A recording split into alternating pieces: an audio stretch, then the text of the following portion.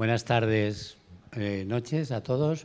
Muchas gracias a, todas las personas que nos están que nos, que nos siguen en directo en esta sala. ¿eh?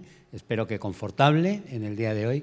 Y, también bienvenidos a las personas que nos, que nos siguen eh, por streaming a través de Internet.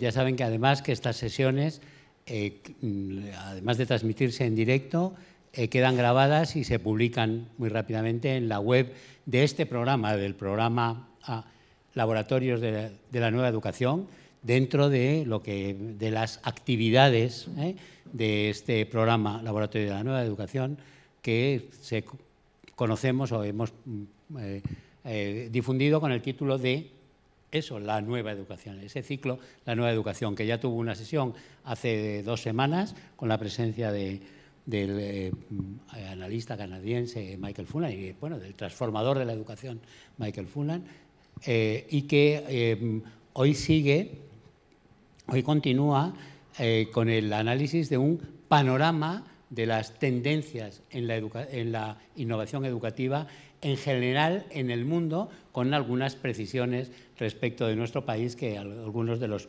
panelistas nos podrán hacer. Eh, para eso hemos invitado eh, como mm, ponente principal a el ex retirado analista senior de la OCDE, David Distance, ¿eh? el autor de, o, bueno, el director, el inspirador de dos de los proyectos más de mayor alcance, que desde el punto de vista del análisis ha llevado a cabo la OCDE en las últimas décadas.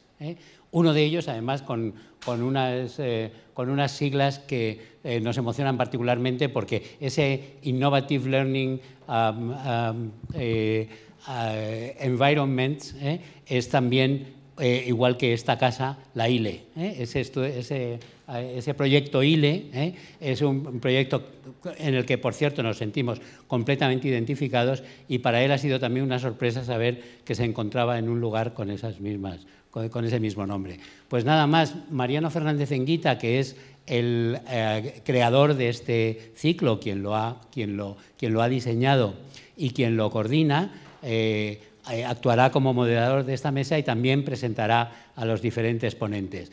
Quiero agradecerles a todas las personas que han participado participan ahora y, seguirán participando como ponentes en este ciclo y a todos ustedes nuevamente. Decirles también que una próxima sesión está ya ah, mm, preparada y se la anunciaremos muy rápidamente para los, mm, eh, ah, la, segunda semana o la tercera semana, perdón, la tercera semana de febrero en torno al tema espacios, espacios para la educación y contaremos también con, notables presencias allí. Se lo confirmaremos en los próximos días. ¿eh?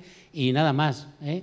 Eh, desearles que disfruten de esta sesión, que aprendamos todos mucho y, y, darle la palabra a Mariano para que presente al ponente. Bueno, muchas gracias Carlos, gracias a la ILE o a la Fundación Francisco Giner. gracias a todos por estar aquí, gracias a los que nos ven o nos van a ver eh, a través de la red. Eh, ya he hecho la presentación, incluso me ha quitado hasta el chiste, aunque creo que lo hice la semana pasada ya, el de la ILE, los ILE y todo demás. Pero es verdad, tiene una cierta gracia estar aquí con una de las personas que más ha trabajado sobre eso. Eh, vale la pena llamar, creo que vale la pena llamar la atención, eh, además, sobre que en estos días que estamos con PISA y que además va de un tejado a otro la pelota, como siempre, estamos con los resultados, si son buenos, son malos, son medianos, son mediocres, etcétera, si es lo que importa, si es lo que no importa, pero no está de más recordar que hay vida más allá de PISA, y no solo eso, sino que hay y ha habido mucha vida en la OCDE más allá de PISA. Y en particular quiero referirme a ese organismo en el que ha trabajado, o suborganismo dentro de la OCDE, en el que ha trabajado mucho tiempo nuestro conferenciante primero de hoy, que es David Distance, que es el CERI, el Centro para la Investigación y la Innovación Educativa. Yo tuve un contacto con él hace muchísimo tiempo, allá por el final de los 80 o los 90, en un programa que había Educación y Empleo y en el que participaba el ministerio de aquí y el, el CIDE de entonces. Y recuerdo que una cosa me llamó mucho la atención entonces, que era que ellos no hablaban de de conocimientos, de educación y tal, sino que en ese ámbito hablaban sobre todo de competencias y de competencias transferibles. Me quedé con la copla, me gustó, me pareció una cosa estupenda, alguna vez hablé de ella, y luego volvió por la puerta grande con PISA y con lo que es toda la programación por competencias también y todo el diseño del currículum por competencias, de manera que la OCDE hace mucho tiempo que está ahí y hace mucho tiempo que está con más cosas que PISA. ¿no? David Distance efectivamente hoy trabaja, hoy es... Eh, Senior Fellow en la Brooks Institution, un think tank prestigioso, una institución muy prestigiosa.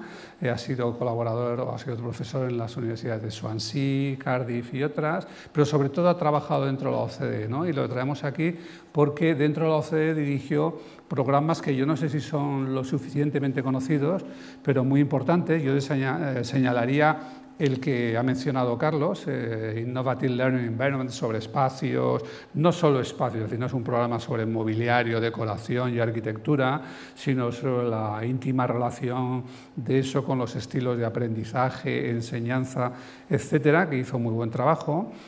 Eh, otro programa, Schooling for Tomorrow, eh, la escuela del mañana o escolarizar para el mañana, eh, que es eh, el que ha sido digamos, más relevante para traerlo aquí, porque es verdad que vamos a tener otra sesión sobre espacios y demás, pero hoy se trataba sobre todo la innovación. Yo creo que ahí la OCDE, el CERI, el profesor Istans y sus colaboradores hicieron un trabajo muy, muy interesante. Otro más que se llamó Innovative Pedagogies for Powerful Learning, o sea, pedagogías innovadoras para un aprendizaje potente, digamos que produjo un libro en colaboración con un investigador de la Bufil, Paniagua, también que yo creo que es de, lectura obligada, y luego dos programas eh, que han tenido menos recorrido, pero también eh, de calado, como las tendencias. Bueno, hizo el primer informe sobre tendencias que dan forma a la educación, Trend eh, Shaping Education, que luego se ha convertido en un informe regular de la OCDE y el primer trabajo sobre un tema hoy de moda, ¿no? Eh, que es la neurociencia y su relación con la educación dentro de la OCDE, ¿no? Understanding the Brain. ¿no? Actualmente trabaja más sobre educación a lo largo de la vida, que bueno, con una vida cada vez más larga y unos empleos cada vez más cortos, pues va a ser cada vez más nuestro, uno de nuestros principales problemas y trabaja sobre un tema que también nos interesa mucho, que se trató más en la sesión anterior, que es el de los niveles de gobierno, mesogobierno, de dónde nace la innovación, etc. Pero bueno, no me quiero enrollar más con nosotros, eh, profesoristas, a quien estamos deseando escuchar. The floor is yours. Okay. Welcome to the Institución Libre de Enseñanza.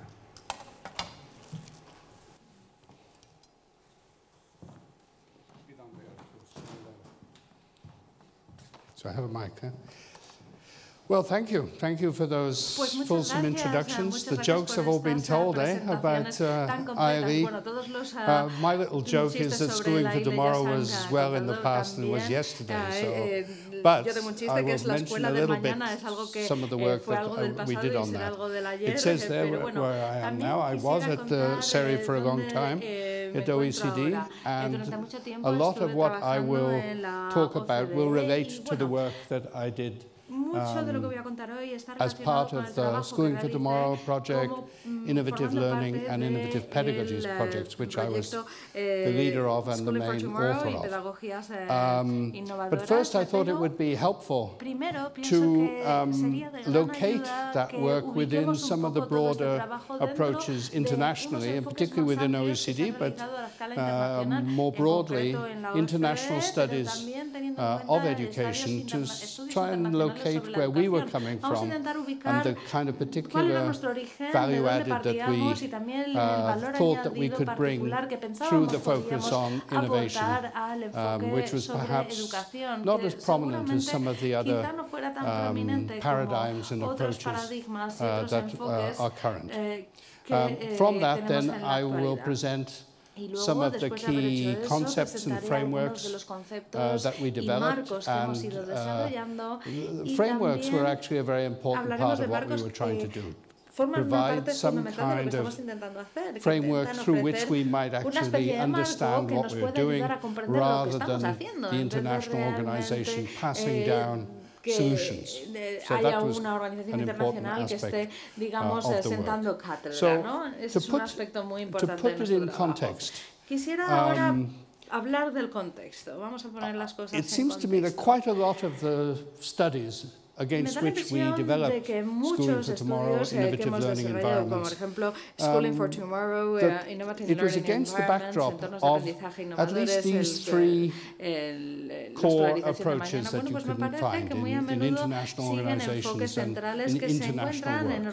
Surveys of achievement and attainment, PISA has already been mentioned, and within uh, the OECD certainly there were other international surveys, surveys in relation to higher education, adult skills teachers and so on. It became, after the success of PISA, the success in terms of the, the prominence, the popularity, that aspect, developing surveys, trying to work out um, levels of achievement and attainment and correlates of that was a very powerful uh, approach and came to dominate and has come to dominate the work on, uh, uh, in OECD on education.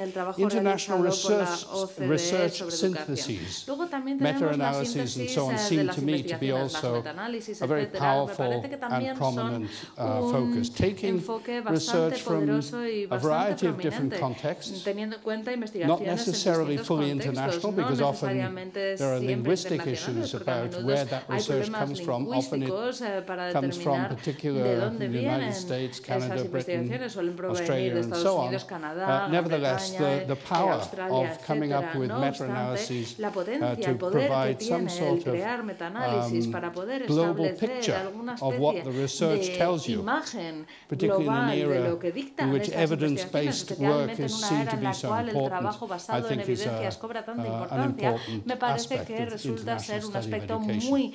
And then, of course, comparative studies of educational organizations, seeing how things are done, whether it's in school, with teachers, vocational education, higher education, in different sets of countries, trying to see what is done, um, what seems to work, what seems to work well, less well, uh, com com compared and so on. And that's a very long tradition and a very important um, a tradition. Now, each of those, it seems to me, provides very interesting and important insight, but they also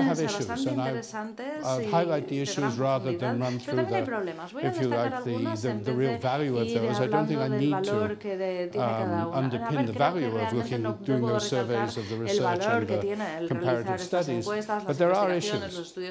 One is that they are based, as they're based very much on patterns and practices and evidence that are, are there, they're looking backwards. Eh, they're looking, if you like, to the present and to the past. They're based on, on um, what's there and what has been uh, in, in, in, in uh, there to be measured, there to be observed, rather than necessarily forwards. So there's a certain degree of basing the, those work through those, those different approaches on what's there and what has been established historically. Of course, very important, but I think something to know.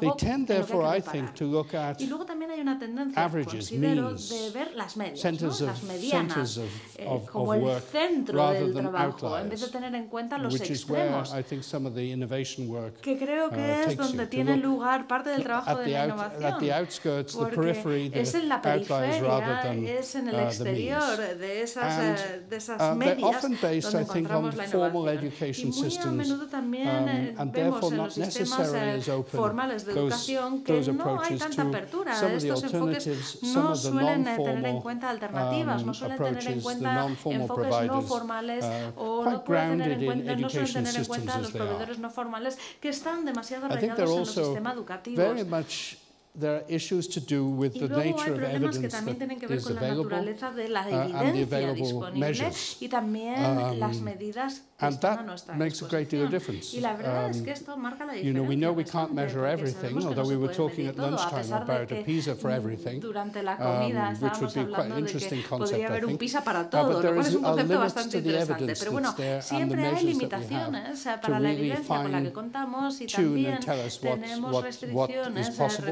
respecto respecto a cómo podemos I think underpinning the second of those three, the, the international research syntheses, is a kind of idea that there is somehow underlying all these differences across cultures, countries, languages, parts of the world, a one best way. There's a kind of idea that you're chipping away to reveal a rather universal set of relationships, and I think that's quite a, um, a difficult de idea, eh, sistema universal y me parece que este es un concepto muy difícil de tratar, muy difícil de steps to be made when you want to go from what you can see, what you've measured from the past towards what, what you would like, what you want to do, um, and to go from the analysis to action.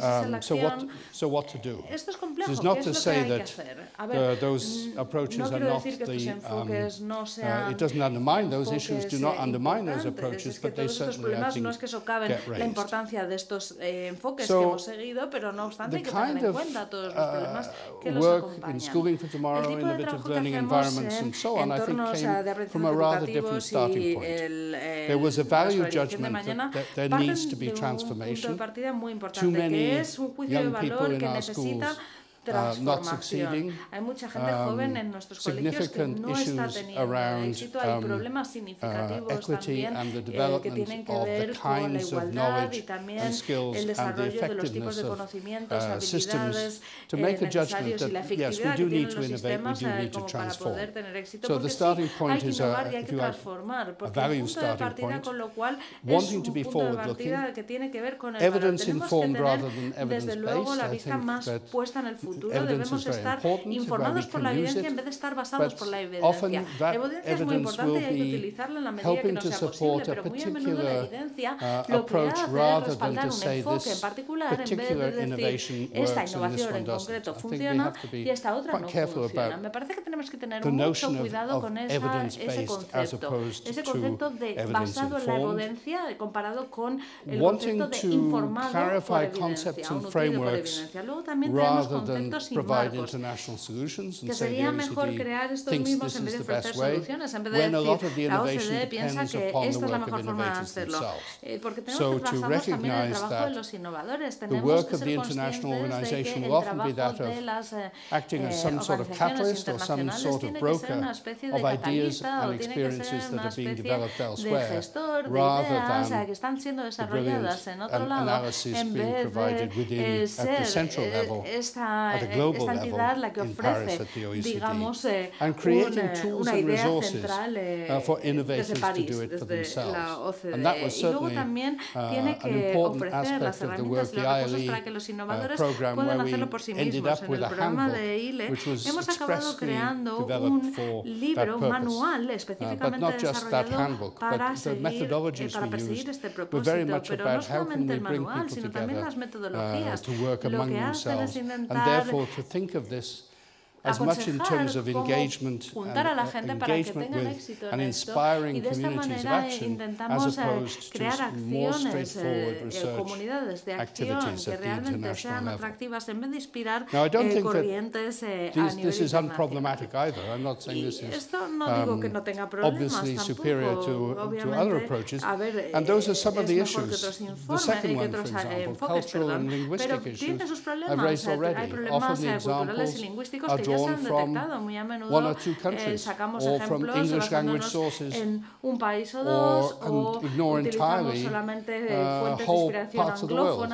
So there is, I think, globally we have to be quite careful, uh, those of us who are the English speakers in particular, that we're not thinking the world exists only in particular linguistic and cultural and, and, and university research contexts. The question of selecting from countless examples, I think, is one of the real problems for innovation.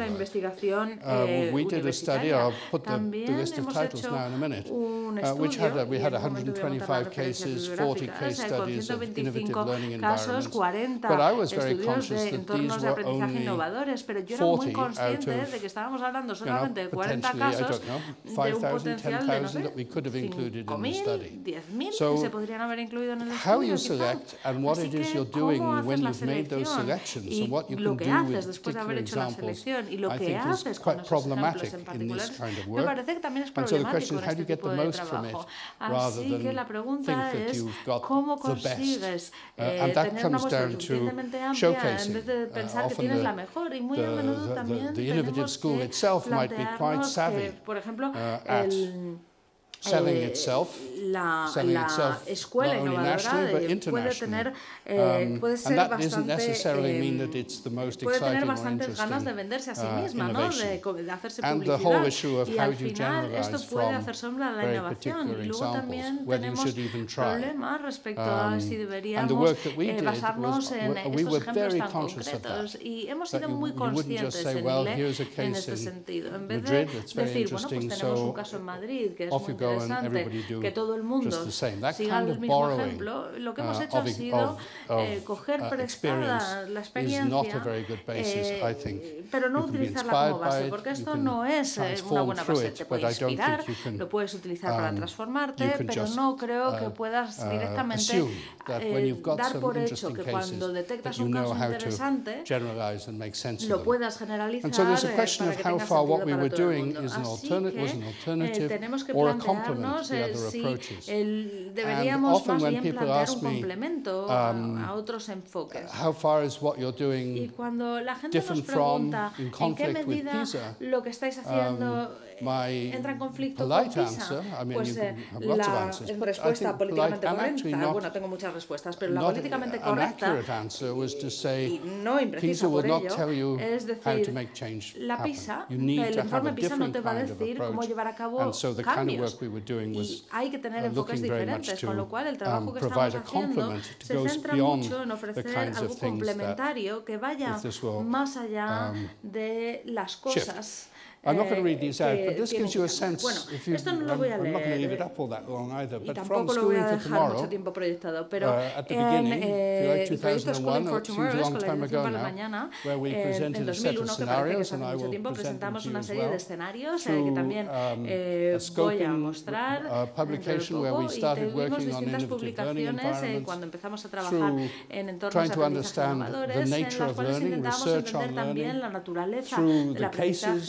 investigaciones sobre aprendizaje mediante casos, liderazgo, estrategias para poder conseguir que el cambio ocurra. Luego el manual que se ha mencionado antes, que estaba diseñado para que los eh, profesionales y los educadores hagan los cambios ellos mismos. Uh, y luego el informe final que Alex Paniagua y yo mismo hemos creado sobre pedagogías innovadoras que salió a la luz el año pasado. Con lo cual aquí tenemos una selección de títulos principales en los que those Pero antes de pasar a um, hablar de los distintos ejemplos en sí, porque soy um, bastante consciente del tiempo que tenemos, me gustaría hacer un breve comentario, si me lo permite, sobre el concepto de innovación y sobre si es un concepto útil.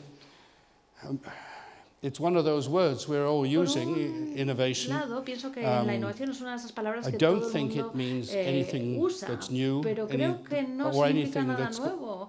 Based on digital technology. Um, I don't think it means specific practices that are everywhere eh, innovative. Um, because innovation is very context specific and dependent.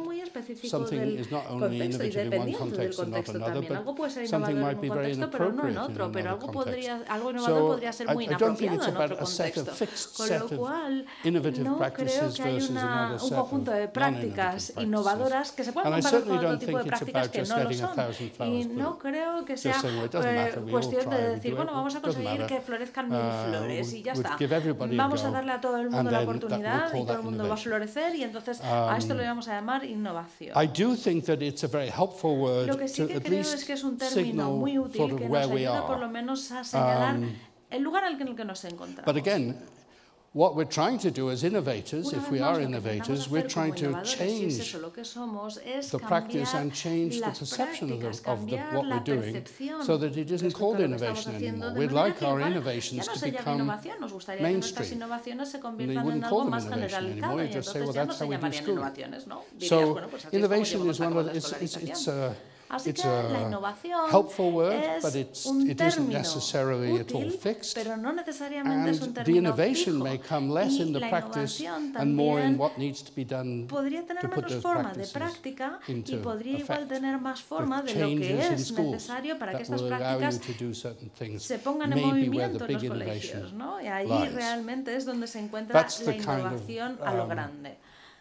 Rather straightforward, broad understanding I've used about fresh approaches to challenges using disciplined experimentation. I found that as much as I've needed myself uh, to, to use the word innovation.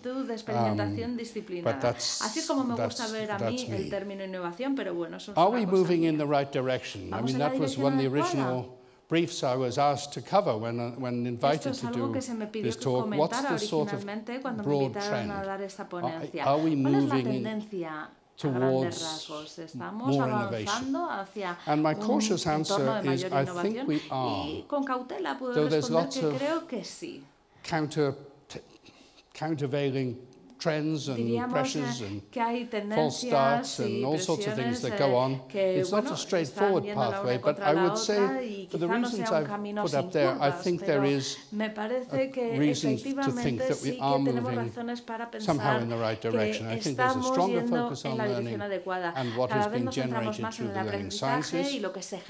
I do think that there is a much greater acceptance of practices that once upon a time would have been seen as the prácticas que en el pasado se hubieran considerado dominio exclusivo de los movimientos de educación alternativa y me ha interesado mucho ver, de hecho, la exposición que hay aquí, eh, porque parece que muchas de estas ideas llevan mucho tiempo, ¿no?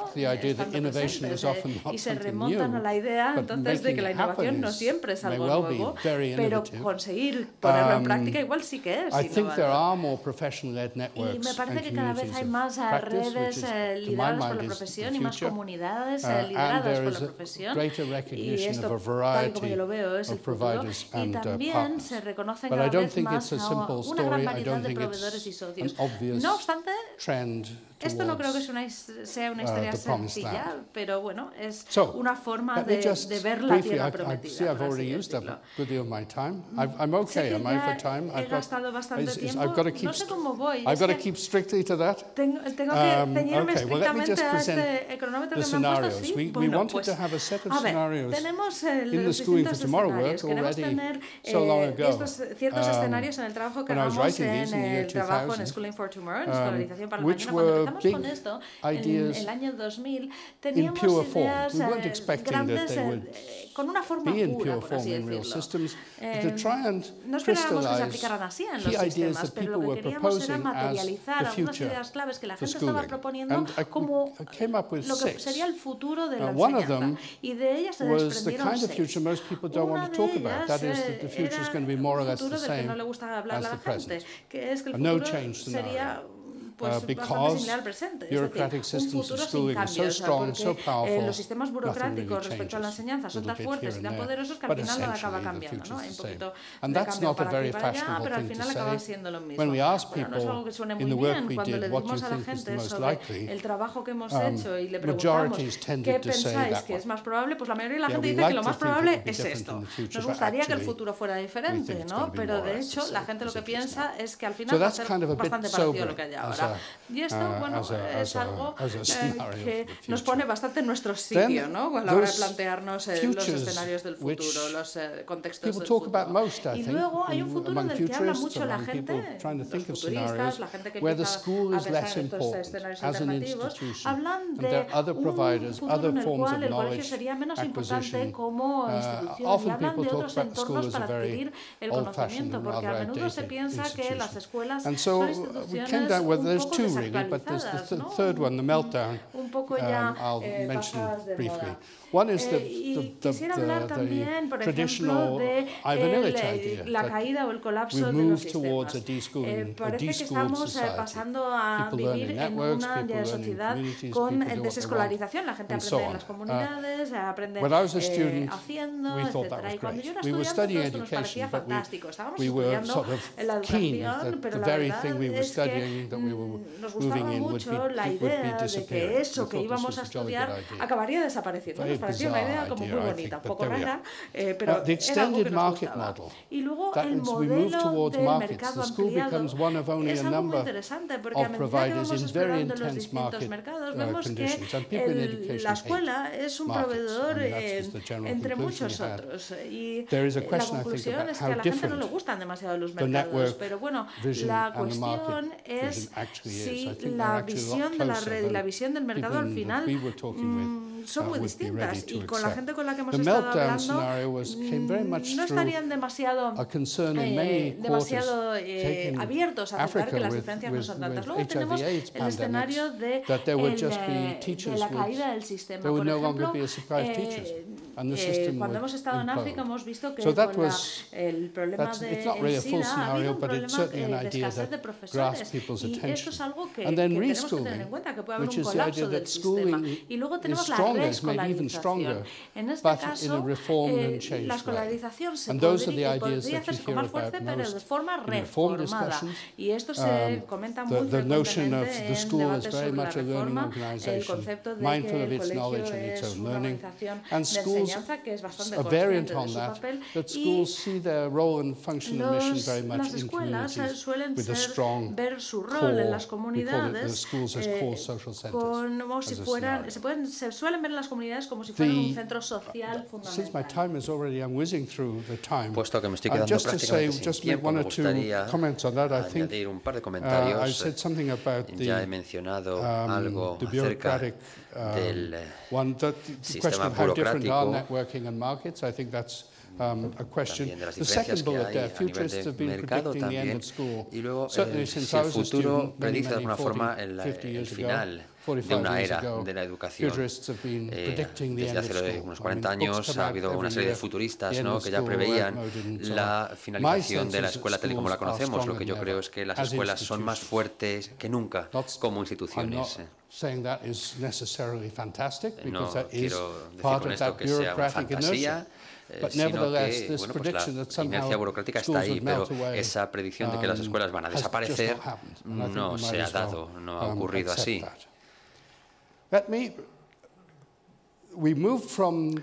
A continuación, quiero pasar de una forma de pensar más global a uh, una forma de pensar más centrada en la educación per se.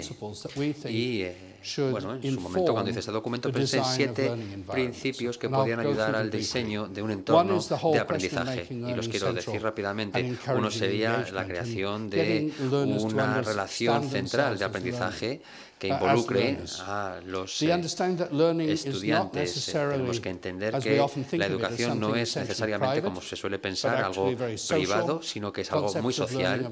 Los conceptos de educación eh, tratan a menudo de una negociación, una interacción social y se da también de forma colaborativa. No siempre es así, pero sí suele ser el caso.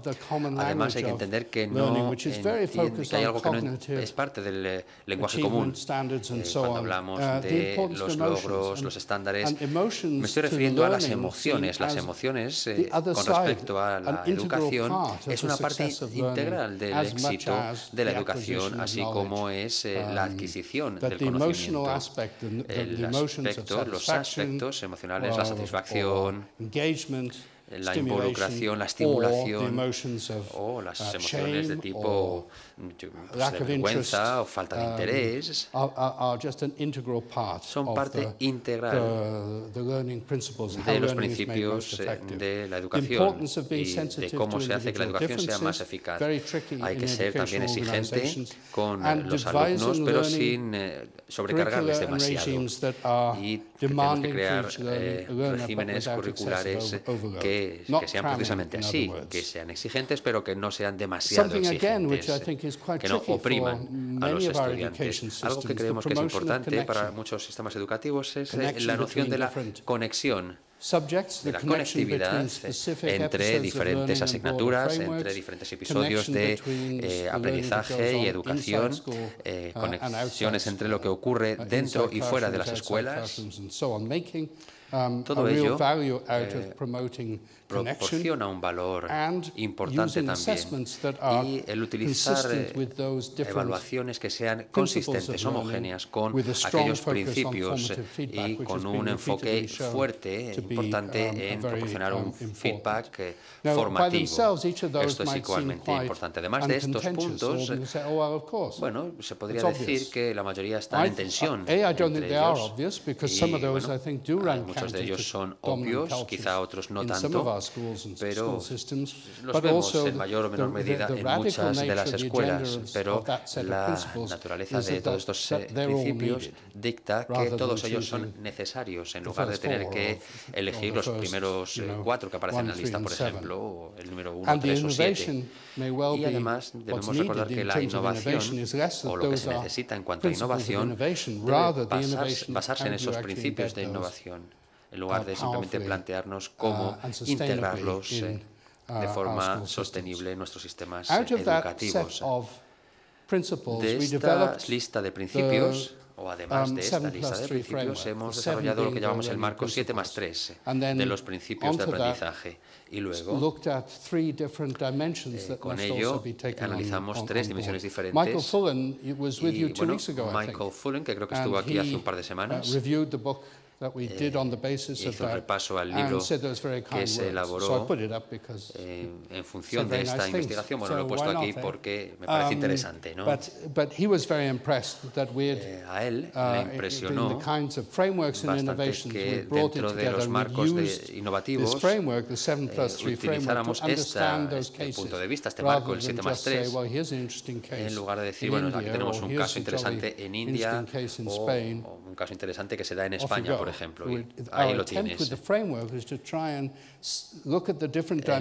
El objetivo de cualquier marco tiene que ser el tratar de analizar las diferentes eh, dimensiones que ofrece y cómo bueno, pues integrar y aplicar esos siete, siete principios eh, de aprendizaje haciéndolo además innovando en el centro pedagógico eh, haciendo también que participen uh, eh, en todo el mundo en el ciclo y mejorando las um, capacidades. bueno, me estoy quedando sin tiempo. Eh, ¿Tengo un poquito más de tiempo? ¿Cinco o diez minutillos más quizá? Voy a intentar um, ser rápido. La pedagogía, por supuesto, creo que es muy importante uh, y uh, bueno, pues está en el centro, en el núcleo mismo de la educación y de la enseñanza. Y es incluso más importante cuando tenemos currículums en todo el mundo que desarrollan una serie de competencias. ¿no? Se ha cambiado los currículums para centrarse más en las competencias. Es decir, las personas eh, deberían, cuando se dice que las personas deberían saber cooperar mejor, me parece bastante extraño el decirlo, incluso llevarlo a la práctica sin tener una serie de pedagogía en cuanto al aprendizaje de esas competencias. O, por ejemplo, el hecho de que las personas tienen que ser curiosas o, eh, pues eso, que colaboren o demás. ¿Cómo se hace, cómo se um, hace que esas personas, esos alumnos, sean eh, uh, creativos, sean curiosos, sin una pedagogía detrás? Creo que la pedagogía es interesante, es importante, pero es todavía difícil de entender, ¿no? Nos, si nos centramos en que se dan bueno, pues, eh, cientos de miles o millones o incluso miles de millones de situaciones diferentes en el mundo de la educación y de la enseñanza. Es complejo, pero es eh, central porque bueno, pues se encuentra justo en el núcleo de muchas de las actividades de enseñanza. Aquí tenemos un, una imagen que muestra ese núcleo pedagógico y las cosas eh, a las que analizamos, ¿no? ¿Qué es exactamente eso? ¿Con quién se lleva a cabo? eh, con qué se da esa pedagogía y quién la lleva a cabo. Uh, y de forma similar podemos analizar también las, las dinámicas, ¿no? cómo los elementos se combinan, cómo las diferentes uh, pedagogías y estrategias se combinan, interactúan y esa interacción se da dentro o y entre los elementos dentro de esa, ese marco de pedagogía teniendo en cuenta el contenido de la enseñanza, pero es um, ahí donde encontramos uh, el, el quiz de la cuestión, la We then ran up again, this was later on when we came to do the work on innovative pedagogy. Algo que vino después, cuando analizamos la pedagogía, nos dimos cuenta que se hablaba mucho de pedagogía a nivel de las organizaciones internacionales, se um, encontraba en muchísimos uh, informes defendiéndolo, diciendo bueno, pues, eh, que se tenía que aplicar una pedagogía más activa, pero no vimos que hubiera mucho enfoque en cuanto al estudio de en qué consistía esa pedagogía, esos tipos de pedagogía. Creo que ahí había una carencia y por ello decidimos intentar analizar la pedagogía de una forma más directa y junto con mi colega, particularmente el señor Alex Paniagua, Ahora no tengo tiempo de dar muchos más detalles, pero estos son um, los seis puntos que identificamos, que son de hecho bueno, pues grupos, no son métodos de enseñanza ni tampoco son principios per se, no son principios de inclusión ni de aprendizaje, enseñanza. no son métodos como digo, sino que intentábamos buscar esos grupos, esas familias de enfoques pedagógicos, algunos de los cuales tienen muchos ejemplos diferentes. Y pensamos que este, estos seis de alguna forma engloban las diferentes opciones pedagógicas y los diferentes métodos. Y el quinto de ellos, como digo, no puedo dar detalles de todos ellos, pero ese uh, aprendizaje global, eh, nos dimos cuenta que los enfoques a la hora de, por ejemplo, mostrar o exhibir eh, cosas eran una parte importante uh, del aprendizaje, la importancia de reconocer que somos más que eh, nuestros cerebros, somos cuerpos, somos artistas y algunos de los ejemplos más interesantes eh, de cómo hacer esos espacios eh, vivos, eh, cómo interactuar, cómo um, hacer que los elementos interactúen cómo combinar arte, ingeniería, diseño, por ejemplo, para crear cosas. Esto era muy interesante, ¿no? Um, Eso es lo que queremos uh, decir cuando hablamos de ese aprendizaje global. Bueno, puedo hablar también brevemente del liderazgo en el aprendizaje. Um, Estos tres puntos serían un poco los principales. El hecho de que tiene que ser formativo. El liderazgo tiene que ser informado, estar informado por la evidencia del aprendizaje. Tenemos que ver el liderazgo como una forma de proporcionar energía, eh, dar también eh, diagnósticos, eh, contribuir a la innovación para el cambio, el uh, diseñar cambio, elaborar cambios y también entrar en diálogos llevar a cabo diálogos. Estos serían un poco los ingredientes del liderazgo tal y como lo entendemos. Bueno, no voy a mencionar mucho más sobre colaboraciones y demás. Y bueno, pues aquí um, tenemos eh, uh, el marco que ya he mencionado, 7 más 3, ¿no? el innovar en el centro pedagógico, el hacer un llamamiento para que haya una mayor, un mayor liderazgo y aumentar las capacidades a través de la colaboración. Y esto es lo que yo, um, junto con uh, Michael Fullan, consideramos que bueno, pues son, so I'm just, I've actually only got two more slides, so if, eh, so tengo un par de, can, I'll just run through those. Deep scaling, un par de paginillas um, más, vamos a ver rápidamente. Focus on that. Deep scaling, I no voy a entrar mucho en detalle de lo que llamamos el deep scaling, el escalado en detalle y bueno pues eh, esto es algo bastante amplio un enfoque cuantitativo cuantitativo no es eh, siempre el más eh, adecuado porque se nos escapan las cosas que ocurren a una uh, escala mayor. Es una forma de difícil de hacer que los cambios se den en la educación y necesitamos estas cinco otras dimensiones eh, que bueno pues eh, de alguna forma fueron eh, detalladas por Coburn y Didi. decían que los cambios se basan en los propios cambios, cambios no superficiales sino de calado. Hablan también de la importancia del el traslado de conocimiento, ¿no? El conocimiento no solamente se uh, impone, sino que se trabaja junto con los educadores. Si no, no se uh, va a integrar en la persona. Se hablaba también de la importancia de eh, tener capacidad de evolucionar y adaptarse en lugar de ser rígidos.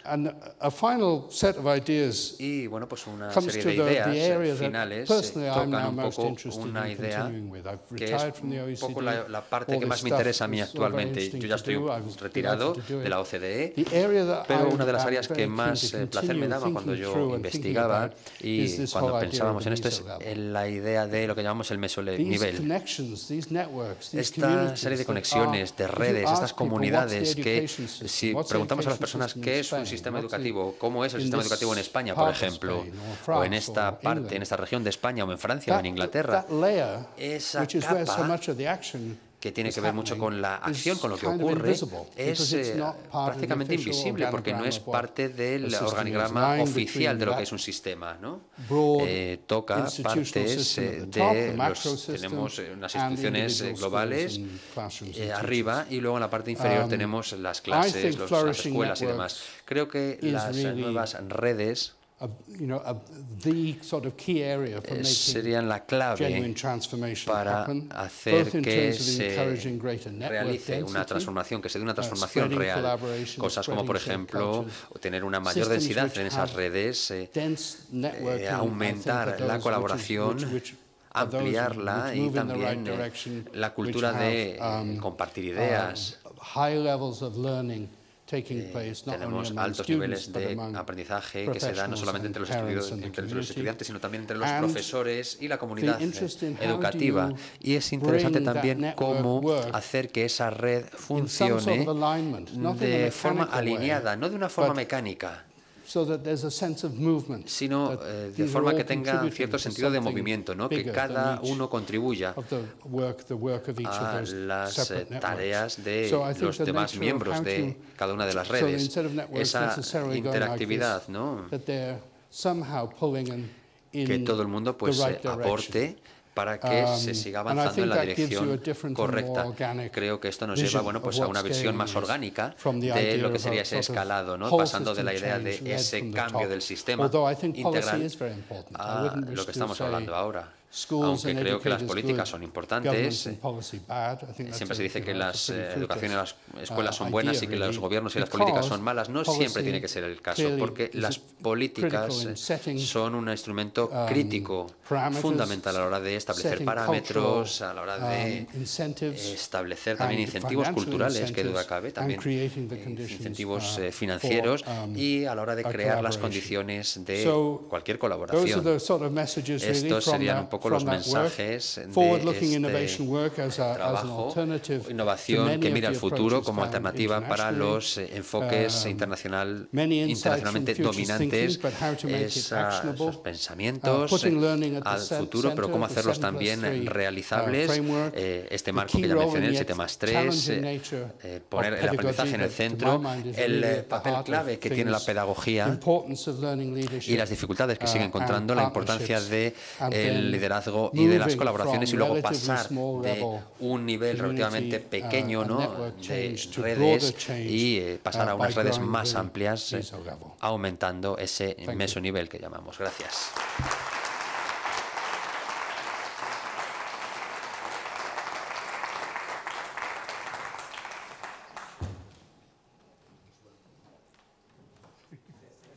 Así se conserva más joven. Vamos.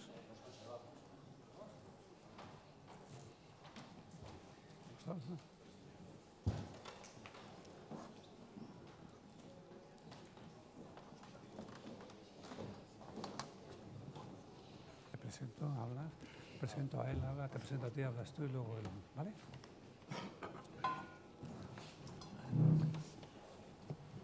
Okay, thank you very much, David.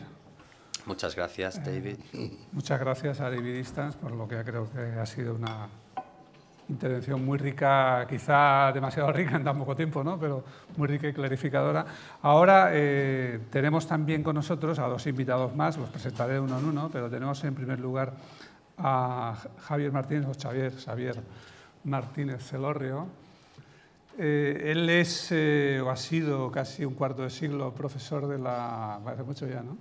de la Universidad de Barcelona, profesor de sociología y ahí ha trabajado especialmente sobre equidad, inclusión, desigualdad, como ah, suelen hacer muchos los sociólogos, pero algunos mejor que otros. Sigue en contacto con esta universidad a través del CRIT, del Centro, del Grupo de Investigación sobre Creatividad, Innovación y Transformación Urbana.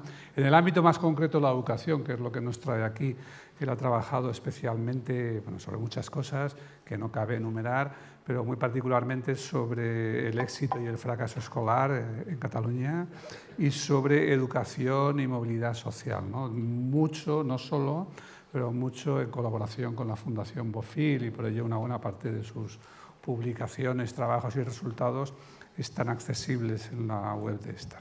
También ha trabajado sobre innovación, que es lo que más le trae aquí hoy, aunque no desconexo con lo otro. Y sobre innovación, eh, Xavier hizo un informe eh, titulado, creo, Innovación y Reestructuración Educativa en España, que publicó la Fundación Encuentro. Y más recientemente un libro sobre... Ah, lo traes, estupendo. Pues no viene a hablar de ello, pero lo trae. Eh, innovación y equidad educativa, ¿no? que es el gran tema o uno de los grandes temas. Eh, la relación entre ambas y la compatibilidad o el apoyo entre ambas. Ahora está más metido en hacer políticas educativas que en observarlas y en juzgarlas, porque bueno, primero estuvo trabajando ya con el Departamento de Educación de Cataluña en eh, gestión de la innovación educativa, de la I+.D. en el área educativa, y ahora está como asesor de la ministra. Esperemos que la asesore bien, ¿eh? hay tiempos difíciles. Bueno, pues eh, gracias por estar aquí. Y Tienes la palabra. Muy bien. Donde quieras y como quieras. Perfecto, pues eh, gracias a la Institución Libre de Enseñanza. Encantado de estar aquí con vosotros, compartir esta sesión con David Ilsans y con Alfredo, con Mariano. Bien, yo voy a hacer una intervención efectivamente de 15 minutos en la cual eh, voy a intentar eh, explicar o defender la necesidad de pensar de forma continua y eh, conjunta innovación y equidad. No podemos entender la innovación si no va acompañada de equidad y ya no podemos entender la equidad si no va acompañada de innovación.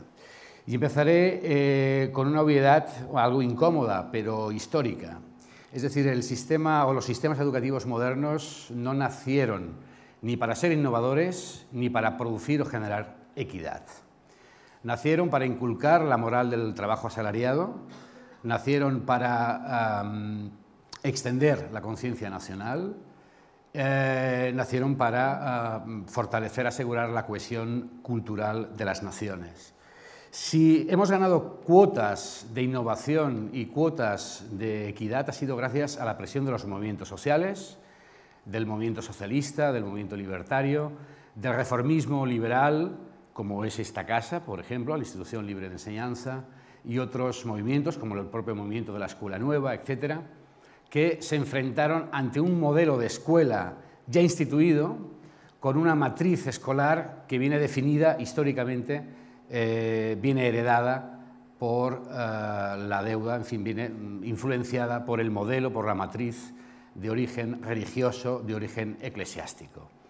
Es decir, la matriz educativa, lo que ahora llamamos gramática escolar, eh, ese conjunto de reglas de estructura, ese armazón compuesto por el currículum, las didácticas, la evaluación y la organización, esa roca ah, que es permanente y que eh, hace que innovaciones históricas, como la Institución Libre de Enseñanza, el movimiento de Escuela Nueva, ahora eh, se recuperen y se presenten como innovaciones cuando ya lo fueron en el pasado, lo que permanece es esa roca, es ese armazón, es esa matriz escolar que eh, tiene prácticamente ese carácter sagrado igual que la Iglesia. Yo creo que hay dos grandes instituciones que son invariables al cambio social. La Iglesia, el ámbito de lo sagrado, y la escuela, especialmente por, por mantener y perpetuar esa matriz escolar, pero con mucha viscosidad. Es una matriz escolar que varía en viscosidad, es diferentemente pegajosa en función de las culturas educativas nacionales. Y aquí no tiene nada que ver la cultura educativa escandinava con la cultura educativa, por ejemplo, de los países latinos. Esa viscosidad, esa pesadez es diferenciada, eh, pero permanece eh, continua. Eh, y no obstante, claro, el sistema siempre, como ha dicho David anteriormente, eh, siempre ha tolerado la innovación, pero la innovación no en el corazón del sistema, sino en las periferias. La innovación, por ejemplo, en el ámbito de la educación infantil, en el ámbito de la educación especial, de donde viene muchísima ah, innovación metodológica, ah, de, la, de la escuela rural, de las escuelas de adultos y también, especialmente, de las escuelas de alta complejidad, barrios desfavorecidos, barrios pobres. Es decir, el sistema eh, ha mantenido esa matriz inamovible, eh, pero ha permitido, eso sí, eh, esas válvulas de escape que, que son estos ámbitos históricos de la innovación. La cuestión es que durante los últimos años, y es un proceso relativamente reciente, que no llegamos, yo creo que no llegamos ni a una década, de cambio educativo simultáneo y transnacional. Alfredo eh, ya ha hecho esa cartografía y luego nos lo explicará eh, en su viaje por las escuelas innovadoras del mundo. Mm, a mí, verdaderamente, el punto de inflexión, desde mi punto de vista, eh, fue cuando los jesuitas en Cataluña, en 2015, presentaron con un gran, en fin, un gran eco mediático, un nuevo modelo educativo sin asignaturas, sin exámenes, sin libro de texto. Y pusieron fin, en definitiva, a lo que es la ratio studiorum, ¿eh? que es el canon eh, que define precisamente la gramática escolar y esta matriz que sigue mm, manteniéndose viva y permanente. Ese cambio yo creo que es un punto de inflexión importante porque si los jesuitas avanzan en esa dirección es porque es un cambio que va a permanecer. Es un cambio que intenta adaptarse a, las nuevas necesidades sociales, porque de, hecho, esto no, no, sé, ¿no pasa esto? Ah, perdón, perdón. Porque es un cambio eh, absolutamente mm, necesario. Eh, necesario porque, para ser muy, eh, muy escueto, hay cuatro grandes razones, cuatro grandes causas del desencanto educativo. El sistema escolar y la escuela eh, produce resultados que son discretos, produce resultados estancados y a la vez bastante inequitativos.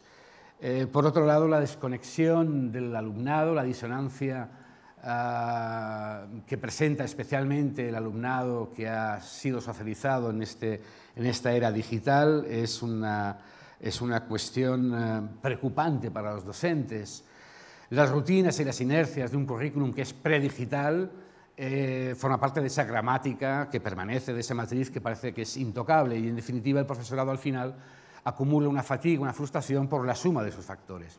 La cuestión actualmente es eh, que ya es pensable el qué, el cómo y el para qué eh, hemos de educar y hemos de organizar las escuelas.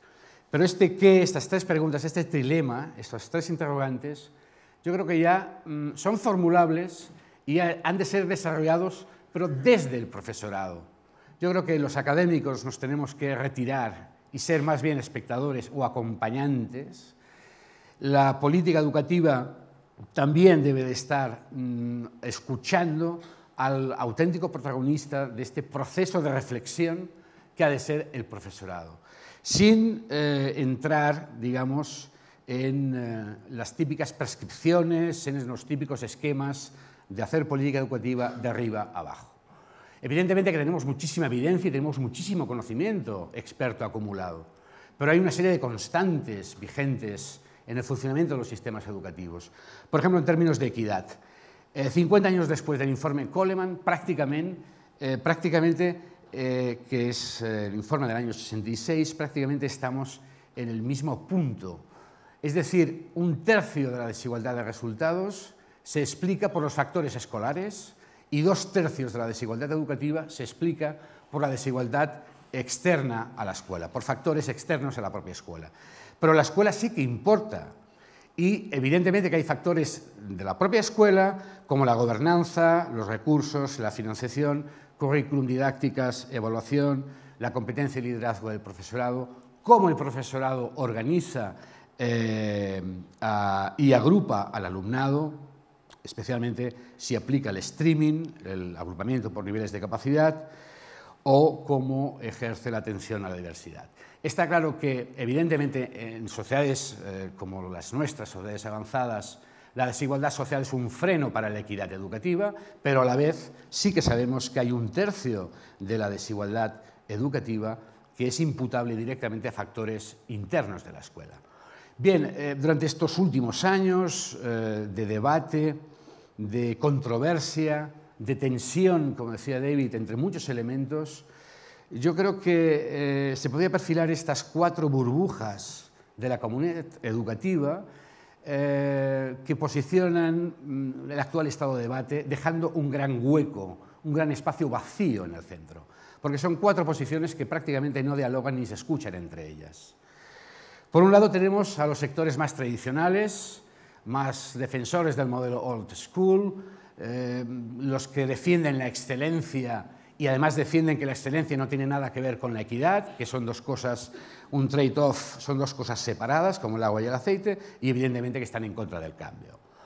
Por otro lado tenemos a los paternalistas, digamos, retóricos, aquellos que defienden eh, la equidad de una manera muy inconcreta, muy retórica, pero uh, que no quieren que se discuta o no aceptan o se sienten muy incómodos si las familias, por ejemplo, exigen una discusión, un debate sobre la matriz educativa. La matriz no se toca o no entran en ese debate, ese perfil o ese sector de la comunidad educativa. Por otro lado, los innovadores para sí mismos creo que son, pues, en fin, los líderes y comunidades de escuelas innovadoras que están innovando para ellas, sin tener en cuenta el factor equidad y sin tener en cuenta suficientemente cuál uh, debe de ser, digamos, la responsabilidad del conjunto del sistema. Existe ese riesgo de que caigan en islas narcisistas de cambio y que incluso, como ya está pasando en la ciudad de Barcelona, se produzca un proceso de gentrificación. Es decir, las familias exigen escuelas innovadoras y eh, hay ya una plataforma de familias que exige una escuela innovadora por cada uno de los distritos porque están con sobredemanda, mientras las escuelas de al lado o vecinas se están quedando sin plazas escolares y se están además eh, em, hundiendo em, en eh, esas dinámicas de segregación escolar. Por tanto, existe después, por último, ese cuarto grupo que son los diferentes expectantes que yo creo que es la gran masa de profesorado y de escuelas que están esperando a ver qué pasa, que no tienen todavía una posición muy clara, que están dependiendo del resto y que sobre todo creo que están esperando una respuesta por parte del Estado, por parte de la Administración Educativa, por la comunidad autónoma, etc. Vamos a ver qué pasa. Yo creo que en el futuro se, eh, será, mm, en el futuro, eh, quien va a decantar estas tendencias va a ser precisamente este sector de los indiferentes expectantes, porque la expectativa está y los debates y después las preguntas eh, seguramente reflejarán eh, mm, muchos de los tópicos eh, sobre si es o no buena la innovación, si podemos innovar en la primaria y en la secundaria, pero después nos llega la selectividad, qué pasará si nuestros niños fracasan, etcétera, etcétera, etcétera. Bien. Yo creo que nadie iría al dentista, ¿verdad? Yo últimamente tengo que ir bastante, pero nadie iría a un dentista que utilice mm, herramientas del siglo XIX. Nadie sería capaz de ir a un dentista que utilice esas tenazas y esos métodos del siglo XIX. Pero eso es lo que hacemos con nuestros niños, eso es lo que hacemos con la escuela cuando de hecho el, eh, eh, el, nuevo entorno o la nueva ecología del aprendizaje eh, posibilita un sinfín de estímulos, de recursos y de activos que pueden ser, y de hecho hay muchas experiencias que empiezan a ordenarlos, a verificarlos y a conectarlos e interconectarlos con las escuelas.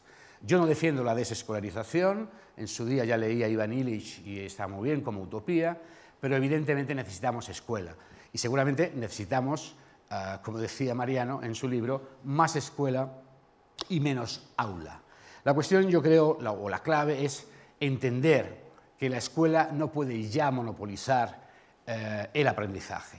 El aprendizaje se ha hecho ubicuo, es permanente, 360 grados, etcétera, etcétera, y el entorno tiene un sinfín de recursos que son perfectamente Em, útiles y necesarios para eh, integrarlos en, una, eh, en, un ecosistema abierto donde eh, los alumnos puedan personalizar sus itinerarios, donde puedan ser complementados, reforzados, en definitiva, donde la escuela tiene que abrirse y desprenderse de esa, de esa inseguridad hacia el exterior que le hace pensar en sí misma siempre hacia adentro, con una enorme separación y frontera con el exterior. Evidentemente que tenemos casos, un sinfín de casos, que empiezan a estar evidentemente muy promocionados en los medios de comunicación, que eh, escuelas que están rompiendo eh, el eje del tiempo y el eje del espacio, que como decía Foucault son los ejes fundamentales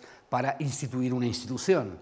Y evidentemente, y eh, valoro que en la próxima sesión precisamente se piense sobre el diseño de los espacios, porque el diseño de los espacios forma parte, ese modelo de aula, ese modelo eh, de asignatura, de currículum, de ejercicios de profesor en el aula y de examen, pues no deja de ser el reflejo de la ratio studiorum y de la pedagogía jesuítica de hace un montón de siglos. Yo creo que la clave actualmente es dejar que eh, abandonar, dejar la idea, dejar la idea atrás de que la escuela tenga que ser un instrumento de clasificación y de segregación y pensar eh, de otra manera la escuela para que sea un espacio realmente abierto al entorno, que sea un espacio cooperativo y sobre todo fundamentado en un gran objetivo, que es hacer crecer los deseos de aprender de nuestros alumnos, de nuestros jóvenes. El gran fracaso de la escuela no es tanto PISA o no es tanto eh, la nota del fracaso del no diploma, sino es la autoestima, es haber herido y haber, digamos, finiquitado con las ganas de seguir aprendiendo. Ese es el gran, digamos, eh, éxito de la matriz escolar tradicional, que servía para una determinada sociedad industrial que había que mantenerla eh, fundamentalmente jerarquizada, pero que ese modelo de sociedad ya no existe. Vivimos en otro mundo y evidentemente la escuela debe de hacer ese esfuerzo transformador. Voy acabando. Eh, la calidad educativa, eh, evidentemente, ya no se puede entender sin la equidad y tampoco sin una innovación que sea transformadora. Estoy de acuerdo con David, el, concepto mismo de innovación es polisémico, etcétera, etcétera, eh, pero yo creo que es el concepto que nos puede o que nos permite entendernos entre nosotros. La cuestión es que la equidad tiene como gran desafío el cambio educativo, nuestros sistemas no son suficientemente inclusivos, tenemos un 30% de jóvenes 25-34 años que solo tienen el nivel de la ESO. Creo que ese es el principal indicador de fracaso del sistema, no tanto PISA. Y evidentemente, si no hay un cambio transformador, si no hay un cambio inclusivo, no mejorarán los indicadores de equidad y de ahí que defienda un nuevo derecho inclusivo eh, al aprendizaje. Hemos, digamos, desarrollado ya el derecho a la escolarización, pero eso no implica necesariamente, no garantizaba necesariamente que la escolarización se tradujese en aprendizaje y en ganas de aprender a lo largo de la vida. Hoy debe de ser un derecho fundamental dentro del marco de los derechos de la infancia. Y eso implica también cambiar el concepto de equidad. Ya no nos sirve el concepto de equidad de acceso. ¿De acceso a dónde? ¿A esa matriz escolar tradicional? No, esa matriz o ese modelo de escuela menos o más viscosa, ¿eh? lo que debe de eh, garantizar es una equidad capacitadora para que verdaderamente todas las desigualdades solamente vengan determinadas por las decisiones individuales. ¿De acuerdo? No por el origen social, no por eh, los talentos examinados, etc. Y evidentemente la innovación viable y legítima ha de ser equitativa. El gran riesgo que tenemos y que ya estamos evidenciando es esa gentrificación escolar a través del sello de ser una escuela innovadora, ese riesgo de una nueva distinción social. Eh, y evidentemente eso implica eh, ahondar, reforzar el compromiso social del profesorado, eh, que existe, pero hay que potenciarlo y evidentemente transformar la formación inicial, demasiado pedagogista, demasiado didactista, y a la vez eh, socializar un concepto eh, moderno de escuela y de educación entendido como un ecosistema eh, colaborativo donde las partes fuertes ayudan a las partes débiles. Y, por ejemplo, alguno dirá, bueno, pero esto de las pedagogías activas, esto del aprendizaje basado en proyectos no funciona, o solamente funciona para, mm, para los pobres o para o para las minorías. Bueno, eh, tenemos estadísticas, por ejemplo, de Estados Unidos del expeditionary learning, ¿no? el aprendizaje expedicionario, que no deja de ser una tradición pedagógica vinculada incluso a, los ideales de la instrucción libre de enseñanza, de aprender eh, en base a conexión con el entorno, la naturaleza y concretar el currículum en desafíos para la vida real. En las eh, estadísticas eh, de puntuación del SAT de los exámenes en Estados Unidos podemos comprobar o contrastar eh, si estos chicos, estos 30.000 alumnos de las escuelas expedicionarias en los Estados Unidos, pues en este gráfico se comprueba, obtienen mejores puntuaciones que sus iguales, sus iguales demográficos que siguen en escuelas tradicionales. Por tanto, 12 puntos más en este tipo de escuelas para los hispanos que los hispanos que están escolarizados en escuelas tradicionales, en lengua y literatura, o 12 puntos más que las familias pobres, o igual pasa en matemáticas. En este modelo de Expeditionary Learning recibió en su momento el espaldarazo, no sé si os acordáis, de un presidente llamado Barack Obama, ¿eh? Eh, diciendo que evidentemente ese debería de ser el modelo de escuela de futuro. Por desgracia, eh, ahora tenemos al señor Trump y, eh, eh, no obstante, ese modelo continúa funcionando y continúa funcionando con equidad, generando equidad. Para acabar, lo que estamos evidenciando, esa tensión que estamos viviendo, yo creo que mm, es una tensión entre un modelo neoliberal, que defiende, en definitiva, una escolarización retradicional, una escolarización de masas, pero retradicionalizada. Recordemos que la LONCE tiene mil páginas de desarrollo. Yo creo que es el último caso extemporáneo de taylorismo educativo llevado a la apoteosis absoluta. Eh, y que evidentemente es un modelo de old school, que lo conocemos eh, de sobra, mm, pero que se contrapone a el modelo emergente que se está tejiendo, que se está construyendo, que se está experimentando de educación distribuida, interconectada y creadora de conocimiento. Porque la base fundamental es centrarse en el alumno, pero para que los eh, alumnos se sientan desafiados por la escuela. Del mismo modo que se sienten desafiados y enganchados a qué? A los videojuegos videojuegos que los desafían a continuar ganando pantallas. Cuando se encuentran evidentemente con una escuela, con una institución taylorista y una institución con sus propias rutinas, con eh, eh, exámenes. El otro día una amiga me decía que a su hija le habían hecho examinar de tres siglos de literatura. Tres siglos de literatura en pleno 2020. En definitiva, el nuevo modelo irá, y creo que eh, poco a poco, reevolucionándose, porque no estamos hablando de lo blanco de lo negro, ¿de acuerdo?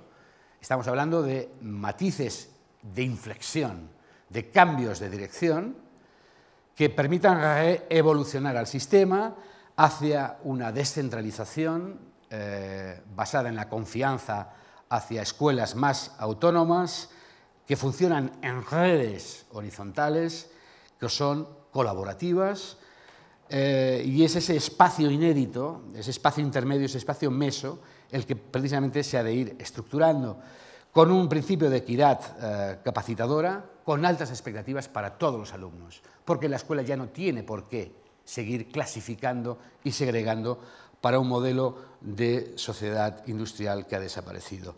Y por último, el principio de confianza, que es precisamente, yo creo, el, más, el mayor déficit que tiene la tradición educativa latina. Nuestra tradición educativa está fundamentada en la desconfianza. Eh, precisamente tenemos que ganar y apostar por una mayor confianza ah, institucional, con una mayor confianza hacia los agentes educadores, hacia el profesorado, ah, evidentemente con desarrollando los proyectos de centro, la autonomía de centro, con devolución eh, y rendición de cuentas y con una mayor corresponsabilidad del entorno que es precisamente lo que también en nuestra tradición latina somos deficitarios, en marcar esa frontera eh, estricta entre lo escolar y lo no escolar. En definitiva, el nuevo ecosistema de aprendizaje ya es ubicuo, hemos de corresponsabilizar a todos esos agentes y la escuela debe ser el pivote, debe ser el ágora comunitaria, no ha de desaparecer, eh, evidentemente que no, pero sí ha de desformalizar esa gramática, ha de desformalizar esa matriz viscosa, histórica, ah, para precisamente permitir la reevolución del sistema. Y por eso aquellos que defienden la libertad educativa deberían de defender la reevolución del modelo de escuela. Nada más. Muchas gracias.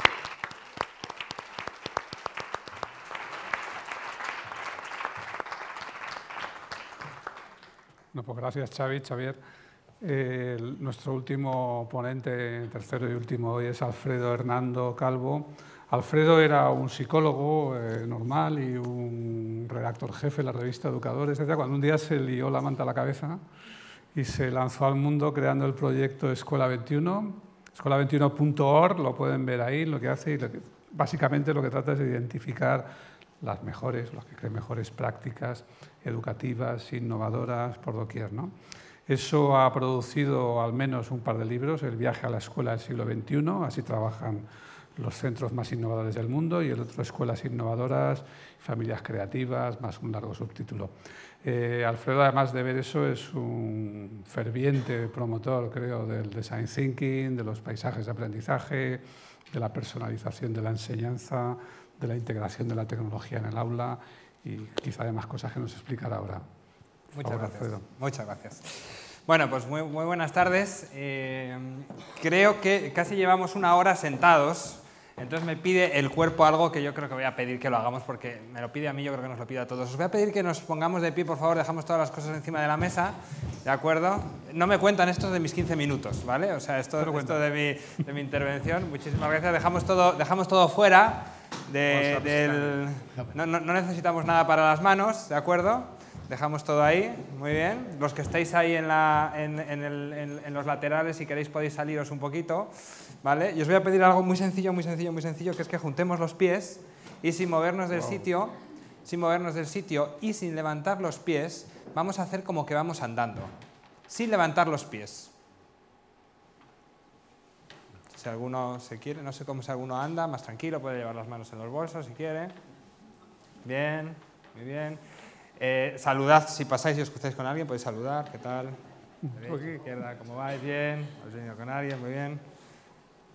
Muy bien. Ahora sí, vamos a ver si podemos levantar un poquito más los pies. Os dejo que levantéis los pies. Sin moveros de la, de la, de la, de la baldosa en la que estáis, muy bien. Y ahora podemos ir levantándolo un poquito más. Si os movéis, no, no, vale moverse, está prohibido. Estamos en la ILE, no vale moverse, es una cosa de... Entonces vamos haciendo así, muy bien. Y quizás un poquito más rápido, como aceleramos el paso. Muy bien los cojos se, agarren un poco, pueden agarrar la cachava, muy bien, exactamente, ahí, muy bien. Un poquito más rápido, muy bien. Un poquito más fuerte, así como que va uno, como cuando se cruza con los jubilados que pasan por Madrid-Río y le adelantan a uno, ahí, a buen ritmo, así, muy bien, muy bien, muy bien. Y vamos a encender un fuego con las manos, porque nos han puesto la facilidad, muy bien. Encendemos fuego con las manos, vamos así, Ea, muy bien. Si alguno se anima a dar una palma para encender el fuego, muy bien.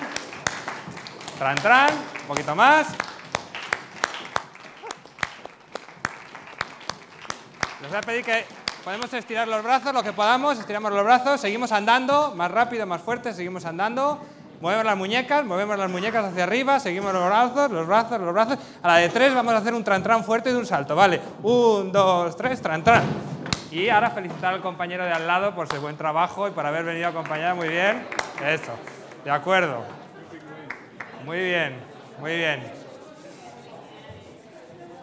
Venga, pues vamos a entrar un poquito en calor y a movernos, que yo creo que hace falta también de, después de estar en, escuchando y recogiendo tantísimas ideas. Esto yo creo que es muy necesario, eh, algo que nos había comentado David también, este embodied learning, como una de las seis eh, estructuras que habían salido. En la exposición también se habla de todo, el, de todo el cuerpo y lo que supone, ¿no? y yo creo que también es básico porque creo que solo con lo que hemos escuchado ya en este proceso tenemos muchísimos insights, muchísimo feedback, muchísimas buenas ideas. Eh, yo al final creo que voy a eh, subrayar muchas de ellas eh, pero creo que tan importante es como lo que podamos transmitir eh, en esta dirección como lo que va a pasar luego aquí en el, en el coloquio. Así que me parece muy interesante señalar rápidamente cinco grandes ideas acerca de lo que está pasando en el panorama eh, mundial de la innovación educativa y también en España. escuela 21 es un proyecto que busca la transformación del mundo de escuela en escuela. Yo soy un, un fan un, freak de las escuelas, si queremos ponerlo así. Para mí uno de los mayores regalos hasta este momento, y lo hemos hablado cuando eh, he conocido a David esta tarde, ha sido pues, poder compartir con él y conversar acerca de su trabajo, porque hace muchos años eh, que me encantó su forma de, escenario, de uso de casos, y, de, y, para mí fue una de las primeras minas donde ir a encontrar estos casos de, innovación y de, trabajo que se está haciendo en las escuelas. Eh, Estamos viviendo ahora mismo, son las 8 de la tarde, las 8 y pico, estamos aquí un buen número de personas hablando sobre innovación educativa, hace un par de semanas, tres semanas también, en otra nueva conferencia. Estamos viviendo en España un proceso eh, de florecimiento, de primavera de innovación educativa. Eh, creo que ha habido una serie de hitos marcados en la historia de la educación en España. El último libro que recoge todo esto de Alfonso Capitán, que yo creo que es un poco la voz, Alfonso Capitán Díaz, que es la voz eh, narrativa de, los procesos de la historia de la educación en España, se terminó y se publicó en el 2000 y del 2000 al 2019 estamos huérfanos en este sentido de cómo se está transformándose la educación. Hemos vivido grandes momentos, uno de ellos ha sido la ILE, otro de ellos ha sido eh, en el proceso de la, de, la, eh, de la, democracia y de la transición democrática, la generación de las primeras escuelas, de las cooperativas, de las asociaciones de padres y lo que estamos viviendo en estos años, aparte de un sinfín y una serie de cambios de leyes educativas, que solo han ido hacia la dotación y no hacia los cambios cualitativos, es decir, hemos, hemos implementado, eh, hemos creado servicios de orientación psicológica, hemos implementado planes de tutoría, hemos creado planes digitales, hemos otorgado tecnología a los centros, pero todas las, eh, todos los cambios, incluso aunque han sido eh, entre partido y partido, han sido cambios de dotación y no cambios de cambio cualitativo acerca de, como estaban comentando David y Xavier, de em, escenario, metodología, espacios, nuevas directrices. Entonces, en este momento sí que nos estamos encontrando por primera vez en el año 2019 en España una serie de consecuencias que yo creo nos han traído hasta aquí ahora mismo eh, para tener este diálogo. El primero de ellos es que, sin darnos cuenta, los sistemas educativos del mundo se están informando por las escuelas. Esto es algo que ha salido aquí compartido también, y no por los procesos de legislación. Es decir, es la innovación de la escuela la que guía los cambios en la legislación y no la legislación la que guía los cambios y los procesos de transformación en las escuelas. Entonces hemos revertido el modelo buscando que los procesos de cambio en las escuelas sean las que informan al conjunto del sistema y los que lo hacen además, no puedo estar más de acuerdo eh, contigo David, en los, en los modelos MESO. Es decir, estamos buscando formas de que la microinnovación, llamémoslo microinnovación, tomar el centro educativo como unidad de cambio del sistema, es la que informa a los centros de formación de profesores acerca de por dónde van las tendencias y las posibilidades de generar cambio. Y entonces em, aparecen programas de observación entre redes de centros, aparecen programas em, em, de, búsqueda de buenas prácticas, aparecen premios, aparecen eh, docentes que eh, salen del aula y entran a formar parte de la administración educativa para implementar una serie de cambios, aparecen publicaciones en periódicos acerca de buenas prácticas educativas y aparecen todo este, todo este tipo de experiencias que lo que hacen es mover de lo micro a lo meso los procesos de transformación y de cambio. Eh, esto sigue teniendo un impacto muy interesante de otro de los grandes fenómenos que ha ocurrido, y es que eh, hemos pasado de mirar el posicionamiento global de los sistemas a intentar buscar qué hacen las escuelas que están funcionando muy bien. Y yo creo que para mí este fue uno de los aciertos eh, del proyecto de David hace muchísimos años. Yo le decía antes cuando veníamos eh, por el camino, yo, digo, yo creo que la situación con vosotros fue que fuisteis unos adelantados a la búsqueda de las experiencias innovadoras concretas eh, y la sociedad no estábamos preparados para eso, lo que queríamos era la quiniela de los sistemas educativos, que es un poco en lo que se ha convertido PISA, ¿no? que está muy bien tener una información eh, acerca de en qué lugar y en qué momento se encuentra cada país, pero lo importante no es esa información, lo importante es cómo genero una estructura y una estrategia de manejo razonable ejecutiva para familias y docentes que me permita que si mi cole o mi comunidad autónoma está en un punto determinado, me permita llegar a otro punto, ¿no? que los legisladores puedan tener información también acerca de cuáles son las estrategias a seguir, cuáles son los modelos, las otras prácticas. ¿no? Entonces, el hecho de pasar de esa visión global internacional eh, que es necesaria eh, e, e informativa, pero que no es de alguna forma divulgativa, nos pone en el brete de decir quiénes son nuestros modelos de cambio. Y eh, durante mucho tiempo hemos estado tentados de pensar que nuestro modelo de cambio era Finlandia, porque necesitábamos un, modelo Finlandia, Finlandia, el país, o Corea del Sur, hemos estado tentados a hacer una, como una apropiación y tratar de traernos los sistemas educativos por completo. ¿no? Pero como lo ha comentado Xavier, y no voy a, ahondar mucho en ello porque tengo miedo que delante de Mariano y Xavier, que son dos sociólogos de la educación, los mejores que podemos tener ahora mismo en España, eh, a entrar a hablar acerca de cómo se mide el éxito de, un, de un de la, vida académica y personal de un estudiante, sabemos que estamos hablando del entorno socioeconómico, de la predisposición genética y de los agentes educativos. Y en, ese vértice sabemos que los niños que entran en la escuela en el año 2019 pueden tener o no, en, qué medida cada uno de esos elementos explica su éxito en el proyecto vital que van a vivir. Con qué características biopsicológicas vienen, con qué necesidades eh, biológicas, con qué, capacidades, cómo impacta el entorno y hasta, cuánto, hasta qué punto el entorno socioeconómico, el lugar, el barrio, las capacidades socioeconómicas de las familias impacta y cómo es posible que los agentes educativos, léase la familia y la escuela, que son los organizados y con un enfoque eh, compartido que los busca, digamos, por no entrar con los medios de comunicación, puede organizar un plan sistemático que cambie el ritmo y que cambie el futuro que le vaticinaba el entorno socioeconómico a cada uno de estos niños. Entonces, lo que nos encontramos es que las verdaderas fuentes de inspiración para generar procesos de innovación a gran escala son las escuelas que en los barrios con mayor complicación, en los barrios con mayor necesidad socioeconómica, están obteniendo los mejores resultados. Porque allá donde hay mayor necesidad es donde los proyectos de cambio cualitativo se explican y tienen posibilidades de replicación. ¿Qué significa esto? Que eh, nosotros no podemos traernos el entorno socioeconómico de Finlandia. Podemos saber lo que están haciendo, pero no podemos traernos su Ministerio de Trabajo y Asuntos Sociales, no vamos a traernos eh, eh, la cultura del país, ni de Corea del Sur, ni de ningún otro modelo. Podemos mirar hacia dónde van las prácticas, podemos mirar el enfoque global y puede ser un enfoque nacional para legislar. Pero a los docentes y a las familias nos interesa sobre todo las prácticas que con una historia de replicación de éxito podemos ejecutar de manera decisiva en nuestros colegios y que tienen una forma de implementarse con unos objetivos, con una metodología, con una forma de dibujar el escenario que, sea práctica y que sea viable para hacerlo nosotros. Por lo tanto, cuando estamos hablando, y por esto yo creo que, el concepto de innovación y de equidad van tan ligados de la mano, cuando estamos hablando de innovación en educación, lo que estamos hablando es que las escuelas innovadoras son las que buscan el éxito para cada uno de sus alumnos sin distinción.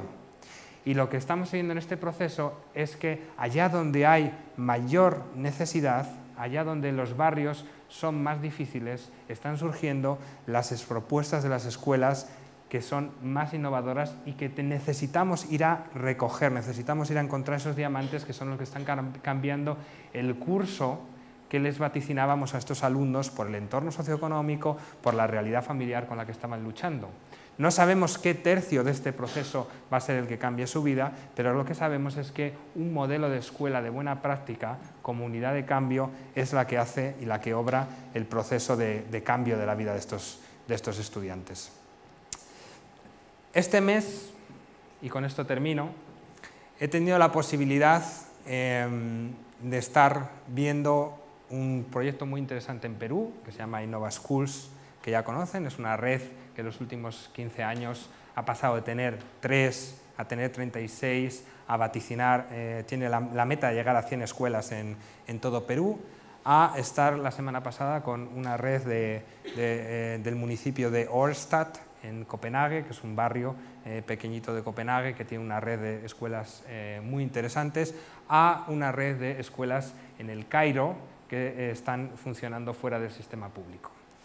Lo interesante de estas tres experiencias, de la experiencia de Innova Schools, es que em, con un proceso muy distinto eh, que les cuesta 1.800 dólares al año por estudiante, 1.800 dólares, están obteniendo muchísimos mejores resultados nacionales que los 1.500 dólares que está invirtiendo cada, eh, eh, el, ministerio por cada alumno en el sistema público.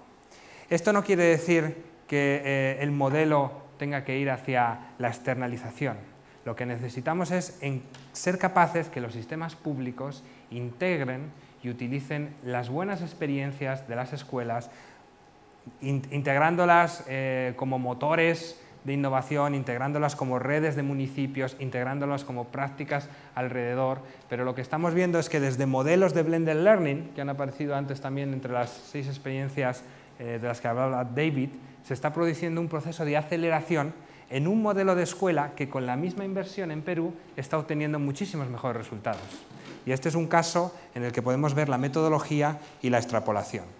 Tanto el modelo de Perú como el modelo de Copenhague, que está buscando un impulso de habilidades sociales y que está trabajando por medir la competencia social y ciudadana en sus aulas, por medir la competencia de aprender a aprender, o por la red de escuelas del Cairo, tienen una característica que es la gran, y el gran, la gran revolución, el gran enfoque de lo que estamos hablando ahora mismo en innovación. Lo ha compartido también muy bien Xavier. Hemos hablado de cómo los sistemas pasados, los sistemas del siglo XX, venían de la tradición de la escolarización universal, buscaban que todos los estudiantes estuvieran en el aula de la manera que fuera, todos para hacer lo mismo, de la misma manera, en el mismo tiempo, distribuidos con, una, con un sentido del aula de una manera, con 30 alumnos, con 25 organizados, que tuvieran el mismo contenido para que pasase lo mismo en el mismo lugar, al gran reto que nos estamos enfrentando, que, ha hecho, que es el que ha hecho que se rompa la brecha y que las escuelas se conviertan en las protagonistas de los sistemas. Y es que cada alumno tiene distintas necesidades de aprendizaje. La diversidad es desde hace muchos años la norma y necesitamos distintos escenarios, distintas buenas prácticas que sean capaces de darle a cada alumno en el aula lo que necesita. Por lo tanto, cuando estamos hablando del gran proceso de innovación educativa, del gran panorama de la innovación, lo que estamos buscando son modelos replicables, de prácticas concretas, que sean capaces de dar a cada alumno lo que necesita en el aula en un entorno de contenido curricular compartido, en, un enfoque nacional o en un enfoque regional, con aprendizaje social y aprendizaje grupal, pero que dé a cada alumno lo que necesita para despertar el máximo de su potencial. Y tenemos que entender que cuando estamos hablando de proyecto educativo, y esto es algo que, que podemos hacer en el diálogo, esa matriz de la que hablamos que es inamovible, no es tal, porque tenemos que superar el enfoque de la metodología para entender que cuando hablamos de escenario estamos hablando de cómo se comporta el alumno, cómo se comporta el docente, qué metodología usamos, pero qué evaluación usamos, cómo interaccionamos con el currículum, cómo utilizamos el espacio y cómo todo eso dibuja en sí un escenario viable de transformación y de mejora, pero un escenario concreto que busque la personalización. Muchas gracias y vayamos yo creo a las preguntas y al diálogo que es lo interesante.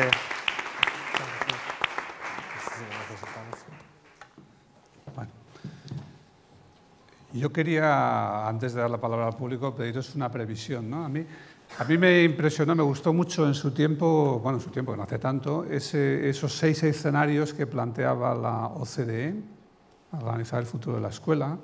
Y comentaba antes a David que más que seis yo los veía de dos en dos y bueno, uno sería terrible, si recuerdan lo que expuso, el sistema escolar se derrumba, puede ocurrir, se han derrumbado torres mayores y entonces ¿qué haría la población que quiere educación? Pues subir a las redes, es decir, sería una mezcla de, derrumbe y, y, escenario ilichiano. ¿no? Esperemos que sea lo menos probable, de momento no está en el horizonte, pero no es descartable.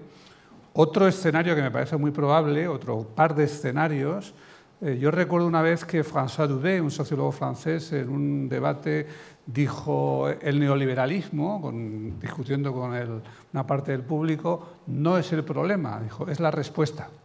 Entonces se enfadaron mucho con él porque no lo entendieron. Eh, lo que dijo, y me parece que tenía toda la razón, es que era la respuesta que la gente da a un sistema escolar insatisfactorio. En ese sentido, la inercia burocrática, un sistema escolar que se cierra sobre sí mismo y un sector social más ilustrado, más preocupado y con medios económicos que huye hacia el mercado, en función de eso, me parece el otro par de escenarios posibles y me parece de hecho que es lo que estamos viviendo y lo que de momento está siendo la evolución o ha sido en los últimos años la evolución más, este, más visible del sistema educativo. Claro, lo más deseable sería el tercer par de escenarios, centros enfocados, centrados en una buena enseñanza, una buena educación, etcétera, que no quiere decir eh, el viejo tópico de la excelencia, que al mismo tiempo, por ello y para ello, tendrían que ser centros sociales. ¿no? Yo creo que por ahí va la idea de más escuela o centros más polivalentes, etc. Ahora, la pregunta es si eso va a suceder o no. ¿no? Eh, yo coincido con Xavi en la significación histórica de los jesuitas, está claro, ellos que inventaron más o menos esto se dan cuenta de que no funcionan, pero añadiría que, además lo visitamos juntos, ¿no? y tuiteamos en medio, y nos pasamos muy bien. Eh, pero yo añadiría que los jesuitas hicieron esto para los ricos, los escolapios, los alianos y demás lo generalizaron a los pobres, pero el que entendió por qué se hacía, aunque no lo hizo ni lo inventó para nada, fue Comenio, que yo creo que fue el que se dio cuenta de que al mundo de la imprenta correspondía ese mundo escolar. Ya no se podía mantenerlo dentro, lo, que había sido hasta entonces. ¿no? Puede que muchas innovaciones que celebramos, entre ellas la ILE, eh, yo que sé, Montessori, mucha gente que ha, que ha criticado esa arquitectura escolar, eh, viscosa, como quieras llamarla, pues eh, tuviera razón, pero en cierto modo se anticipaban a su tiempo y por eso quedaron en las zonas imposibles, donde era imposible hacer lo que, lo que hacía la escuela con una pequeña minoría o con una mayoría mucho tiempo. Educación especial, eh, rebotados de la escuela, la infantil, etcétera, etcétera. La cuestión es si ahora en ese entorno digital que nos rodea y que está en plena explosión y que no ha hecho más que empezar, pues va a ser posible esa generalización de la innovación, esa generalización de una escuela alternativa o no. Y esa es la pregunta que os plantearía. Es decir, ¿estamos realmente, no sé, ante la aurora del gran día, aunque haya que trabajar por ella, o va a ser el enésimo intento que se desvanecerá?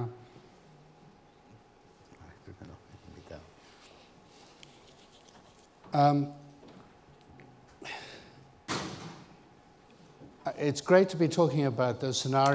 Es interesante que mencione estos escenarios ¿no? hace 20 um, años o más que los eh, creamos, por así decir, pero siguen teniendo cierto eco.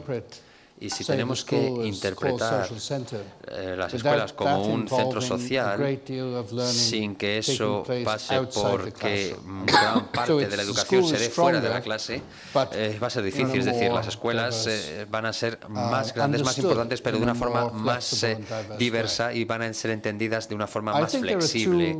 Creo que hay dos elementos que, bueno, hay muchos, pero hay dos que son difíciles y que se dan en la sociedad y que nos cuesta digerir y creo que tienen mucho que ver con esto que estamos hablando. Uno de ellos es que no se cuenta con las escuelas. Reconocemos que hay diferentes formas de educación, pero mi intuición me dice que um, quizá debería haber nos deberíamos replantear lo que podemos llamar el nivel de primaria o el nivel elemental hasta mm, los 13 años, por ejemplo. Y lo que ocurre después de esa fase educativa. Creo que podríamos imaginar sin problema una sociedad con una experiencia educativa muy fuerte y compartida en esa parte de la edad. ¿no? Niños que aprenden juntos, comparten y eh, una institución llamada escuela que es flexible, es central, pero es flexible y que da esa equidad, ¿no? una fundación importante y también en la educación, que duda cabe. Pero también podríamos plantearnos el ser un poquito más eh, abiertos a permitir muchas más posibilidades, posibilidades después de esa edad, más o menos, 13, cuando los chicos eh, pues tienen 14, 15 años, cuando, bueno, pues... Los chicos empiezan a tener más problemas de motivación. Creo que se tiende a extender el problema más allá, ¿no? Se suele decir, bueno, lo haremos cuando eh, los alumnos tengan 14, 15 años, luego no, ya se va a hacer en el momento de la universidad. Siempre parece como que se está dejando eso, ¿no? Y deberíamos quizá pensar, sí, en este tipo de escenario que estamos planteando, más flexible, que dé más posibilidades de aprendizaje, quizá deberíamos ir en la dirección contraria, ¿no? Eh, centrarnos mucho en esa experiencia inicial y luego dar una mayor, mayor número de posibilidades a posteriori, uh, que nos daría una serie de nuevas posibilidades de aprendizaje. Um, Por lo tanto, yo pienso que, bueno, si esto eh, será posible o no, si vamos a tener la imaginación y la tolerancia eh, necesarias en la sociedad para arriesgarnos de alguna forma, no lo sé, pero algunas sociedades ya lo han hecho, volviendo, por ejemplo, a la evidencia del aprendizaje expedicionario, por ejemplo, creo que eh, si se puede demostrar que hay formas de hacer las cosas que hacen participar, hacen que la educación se dé de ese modo, creo que las personas empezarán a tomárselo en serio y dejarán de decir simplemente que no, ¿no? negarse eh, pensando que es una nueva idea innovadora que no va a ningún sitio, quizá eso funciona en, en otros países, pero no aquí, etcétera, ¿no? Eso es que se suele decir. de acuerdo, es decir, eh, a ver, yo no soy futurólogo ni nunca me ha gustado hacer prognosis ni brujería, pero yo sí que creo que esa, lo que he dicho antes, ese gran colectivo mm, de indiferentes expectantes, Creo que mm, es un colectivo a tener muy en cuenta porque es muy numeroso y es el que va a decantar hacia dónde vamos a ir, teniendo siempre presente que estamos hablando de cuestiones locales, es decir, de culturas educativas nacionales y, eh, por tanto, mm, es muy diferente el debate educativo que pueda haber en Italia o Rumanía o Canadá o el que pueda haber en España pero a la vez eh, tiene mucho que ver con dos factores. Uno, eh, la ansiedad de las familias. La ansiedad por el futuro, la ansiedad eh, por encontrar nuevas certezas, con un perfil de familias que ha cambiado, absolutamente. Es decir, desde un pluralismo familiar, aunque a cierta derecha clerical le cuesta aceptarlo, pero es así, pluralismo familiar, familias que han y están sufriendo las consecuencias de la crisis, que están incluso, en este caso en Barcelona, por ejemplo, exigiendo escuela pública pero innovadora. Entonces, las ansiedades de las familias, eh, sociológicamente, pues serán muy diversas. Otras ansiedades tendrán su respuesta en el modelo de la vieja escuela, en el modelo old school, de certeza absoluta, de resultados, de cultura del esfuerzo, de competitividad y además, eh, bueno, pues es un sector eh, que creo que es muy cerrado. Pero en ese sentido soy positivo, o sea, soy optimista. Yo creo que las nuevas jóvenes familias eh, que han sido ya formadas en un modelo de escuela en los años 80 y 90 que ya creo que ellos han evidenciado y vivido como un modelo agotado, no lo quieren replicar para sus propios hijos. En el momento en que eh, efectivamente eh, se presenten evidencias, certezas, modelos que funcionan, que pueden tranquilizar a esa ansiedad, eh, estos modelos emergentes o innovadores o transformadores tendrán ah, más colchón, pero siempre depende del contexto local.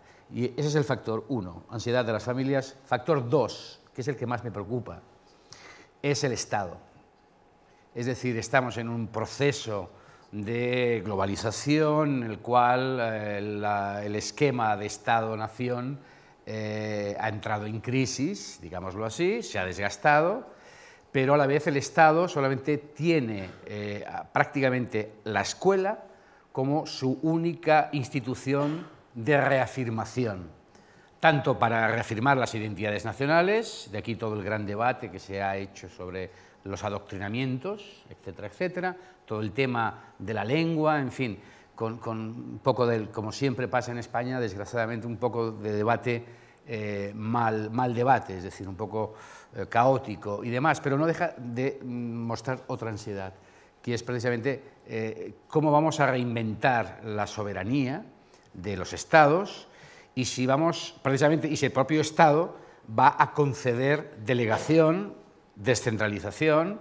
autonomía a esos niveles intermedios o a los niveles micro, autonomía de centro, si va a ser posible que esas escuelas descentralizadas con rendición de cuentas, evidentemente, incluso se puedan consorciar entre ellas, si podemos dar pie a fórmulas de redes de escuelas públicas que pasarían a un nivel intermedio, si va a permitir que el profesorado eh, pueda escoger su formación y no seguir la formación prescrita que tiene el Ministerio o las comunidades autónomas, es decir, en qué medida el Estado o las administraciones, en definitiva, administraciones públicas, entiéndase, pues va a permitir esos grados de libertad creativa, especialmente en sociedades como la española, que eh, está experimentando todo un proceso de repliegue.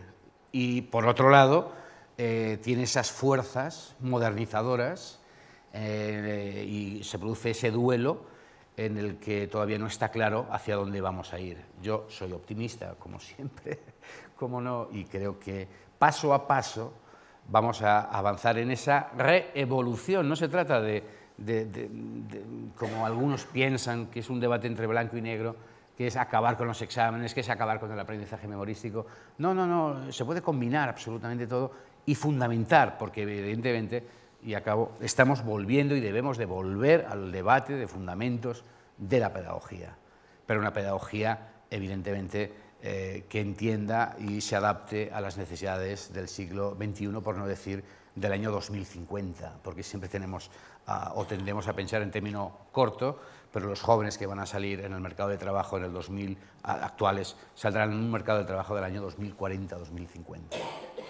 Por tanto, soy pues, eh, optimista, pero esas dos ansiedades, familias y Estado, vamos a ver cómo se, cómo se compatibilizan. ¿no?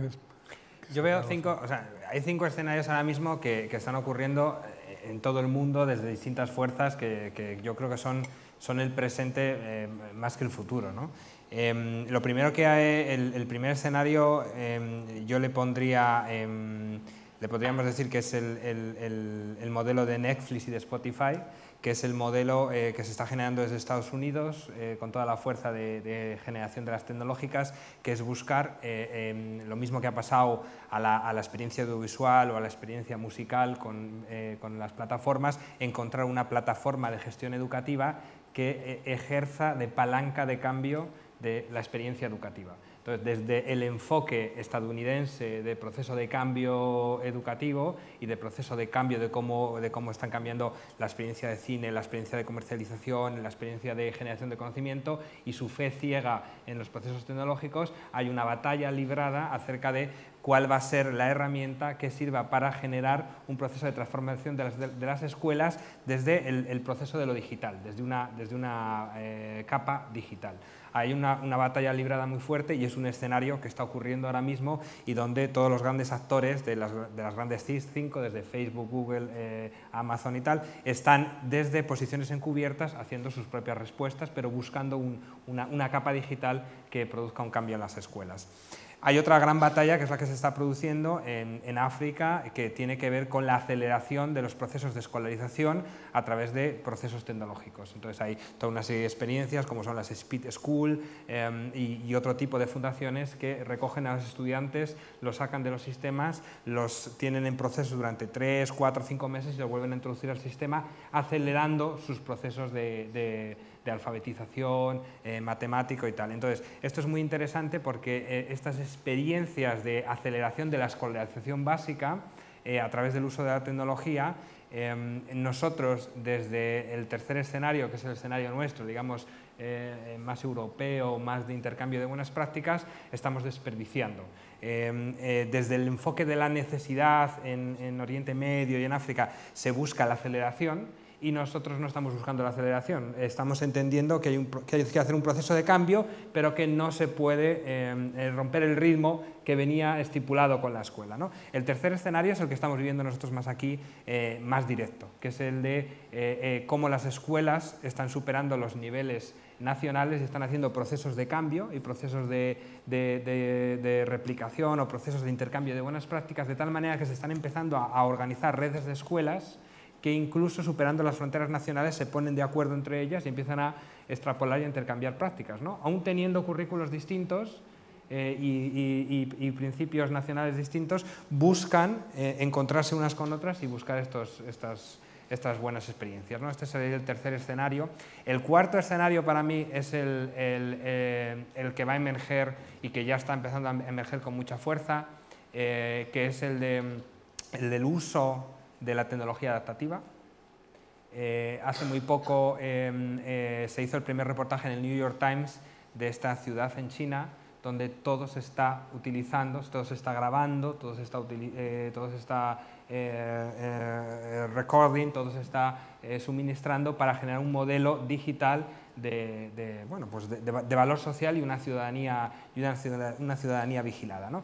Entonces, este mismo proceso se está llevando a las escuelas con, la tecnología adaptada en el que se está tomando medición del de, eh, ritmo de, los alumnos, los niveles de aprendizaje, el nivel de concentración, y esto levanta muchísimos valores éticos eh, que nosotros mm, eh, estamos dándole un poco la espalda porque no nos está tocando, pero que se están poniendo ya en funcionamiento eh, en China, por ejemplo, y en, otros países de, Asia, y que tienen que ver ya con este uso de diademas, que ven el nivel de concentración de los estudiantes y que a partir de ahí sacan algunas conclusiones acerca de qué ejercicios tienen que repetir o no, etc. Creo que el aprendizaje adaptativo tiene muchísimo potencial, pero tiene un gran debate ético que ya nosotros nos movemos solo en el uso como consumidores de nuestros datos y tal, y que está teniendo un impacto impresionante en, educación. Y el quinto y último escenario eh, creo que es el, gran escenario de la falta que se está viviendo y de la falta de vocación y de cualificación de profesores que se está viviendo en gran parte del mundo. Ahora mismo, en términos globales, eh, no hay profesores suficientes para hacer frente a todos los estudiantes que tiene el mundo. ¿no? Y no hay profesores cualificados. Y esto es otro de los grandes retos que están en, el escenario mundial. Vamos a abrir el turno de palabra para nuestro público. A ver, vamos a ver. Tengo tres palabras por ahí. Vamos a empezar por el fondo. Yo les hago una pregunta eh, que no sé si les interesa o no les interesa. La pregunta es, ¿por qué ustedes, que defienden la innovación, no se atreven a hacer algún tipo de presentación en la que los que venimos aquí que algunos a lo mejor sabemos algo, vaya usted a saber, intervengamos. Y les hago esa pregunta, porque claro, ya me ven la edad, 75 años. Le aseguro a usted que en el año 60 o por ahí, cuando yo empecé a interesarme de por qué mi país era el desastre que era, y llegué a la conclusión de que la alternativa era la escuela, empecé a escuchar a gente como Tonucci, como Alfieri, como, como gente de aquí, como Rosa Sensat, y todos ellos decían una cosa, que para que cambiara el mundo había que darle la palabra a los niños. Nosotros no somos niños, pero aquí hemos venido, ustedes nos han soltado su speech, maravilloso speech, en el que yo además no coincido en muchas cosas que han dicho, y yo lo único que hago es eso. ¿Por qué ustedes, precisamente ustedes, no se atreven a haber organizado esto de otra manera? Como todos sabemos leer, nos dan ustedes su speech, nos lo leemos, nos reunimos por grupos, cada uno de nosotros con nuestra experiencia, la que tengamos, nombramos un portavoz o algo así. Esto que estoy diciendo lo inventó un señor que se llamaba Alfieri y se incorporó más o menos al estudio este que se hizo, eh, que se llama Aprender a Aprender o algo así, que es del año 73, que lo hizo la UNESCO. ¿Qué ha pasado? ¿Por qué ustedes no se atreven a desarrollar lo que dijo la UNESCO? Muy bien, pues ya tenemos una buena pregunta. Vamos a reunir algunas más y... Ahí. Eh, buenas tardes buenas noches ya. Eh, gracias David, Xavier, Fernando, Mariano. Eh, yo quería hacer dos reflexiones, una para David y otra para Xavier, quizás recogiendo a su vez en, en algún momento las intervenciones del resto. Eh, yo estoy de acuerdo y además estoy convencido de que las prácticas no se replican, Y incluso yo diría que los modelos tampoco. Y yo no buscaría un modelo de innovación que fuese el referente para, eh, digamos, escalar o generar innovaciones. Lo que yo sí describiría muy bien sería procedimientos, valores, actitudes y acuerdos como elemento sustancial que yo creo que son denominadores de lo que son acciones y propuestas de innovación. Y otra eh, cuestión también decir que es muy difícil innovar en un país, en una región, si por parte de las administraciones no muestran un respeto por las innovaciones. Una de las características, eh, digamos, cuasi comunes de muchas administraciones es que cuando hay una innovación no promovida por la administración, es una innovación medianamente o totalmente despreciada. En cuanto a, Xavier, eh, ese abanico de elementos que conforman junto a la escuela una ciudad educadora o un barrio educador, eh, frente al modelo de que sea la escuela el punto central alrededor del cual el resto de agentes sociales contribuyen, incluso están presentes en la escuela, yo creo que el camino va a ser en otra línea, o al menos a mí me gustaría que fuese en otra línea, que la escuela pudiera especializarse, si quieres, en un currículum más formalizado, más científico, pero que al mismo tiempo fuese un gran coordinador del resto de agentes del entorno, donde ni siendo él el único coordinador, porque para actividad de tiempo libre, a lo mejor era el centro cultural o el club de barrio o el club de jóvenes, el que organizara la escuela incluso en acciones de tiempo libre del cual la escuela no es ni un conocedor ni un experto. O sea, no es tanto convertir la escuela las 24 horas, ni la escuela se encarga de protagonizar el conocimiento o la enseñanza, sino que la escuela se puede especializar, si quieres, dentro de una concepción abierta de, un determinado currículum, pero la escuela es un agente más que coordina al resto de agentes en unos ámbitos y se deja coordinar por el resto de agentes que son más expertos conocedores en otra serie de ámbitos. y, y, ya con esto termino. También, Xavier, o sea, es muy difícil eh, hablar de innovación si las administraciones no tienen relaciones cara a cara con las escuelas.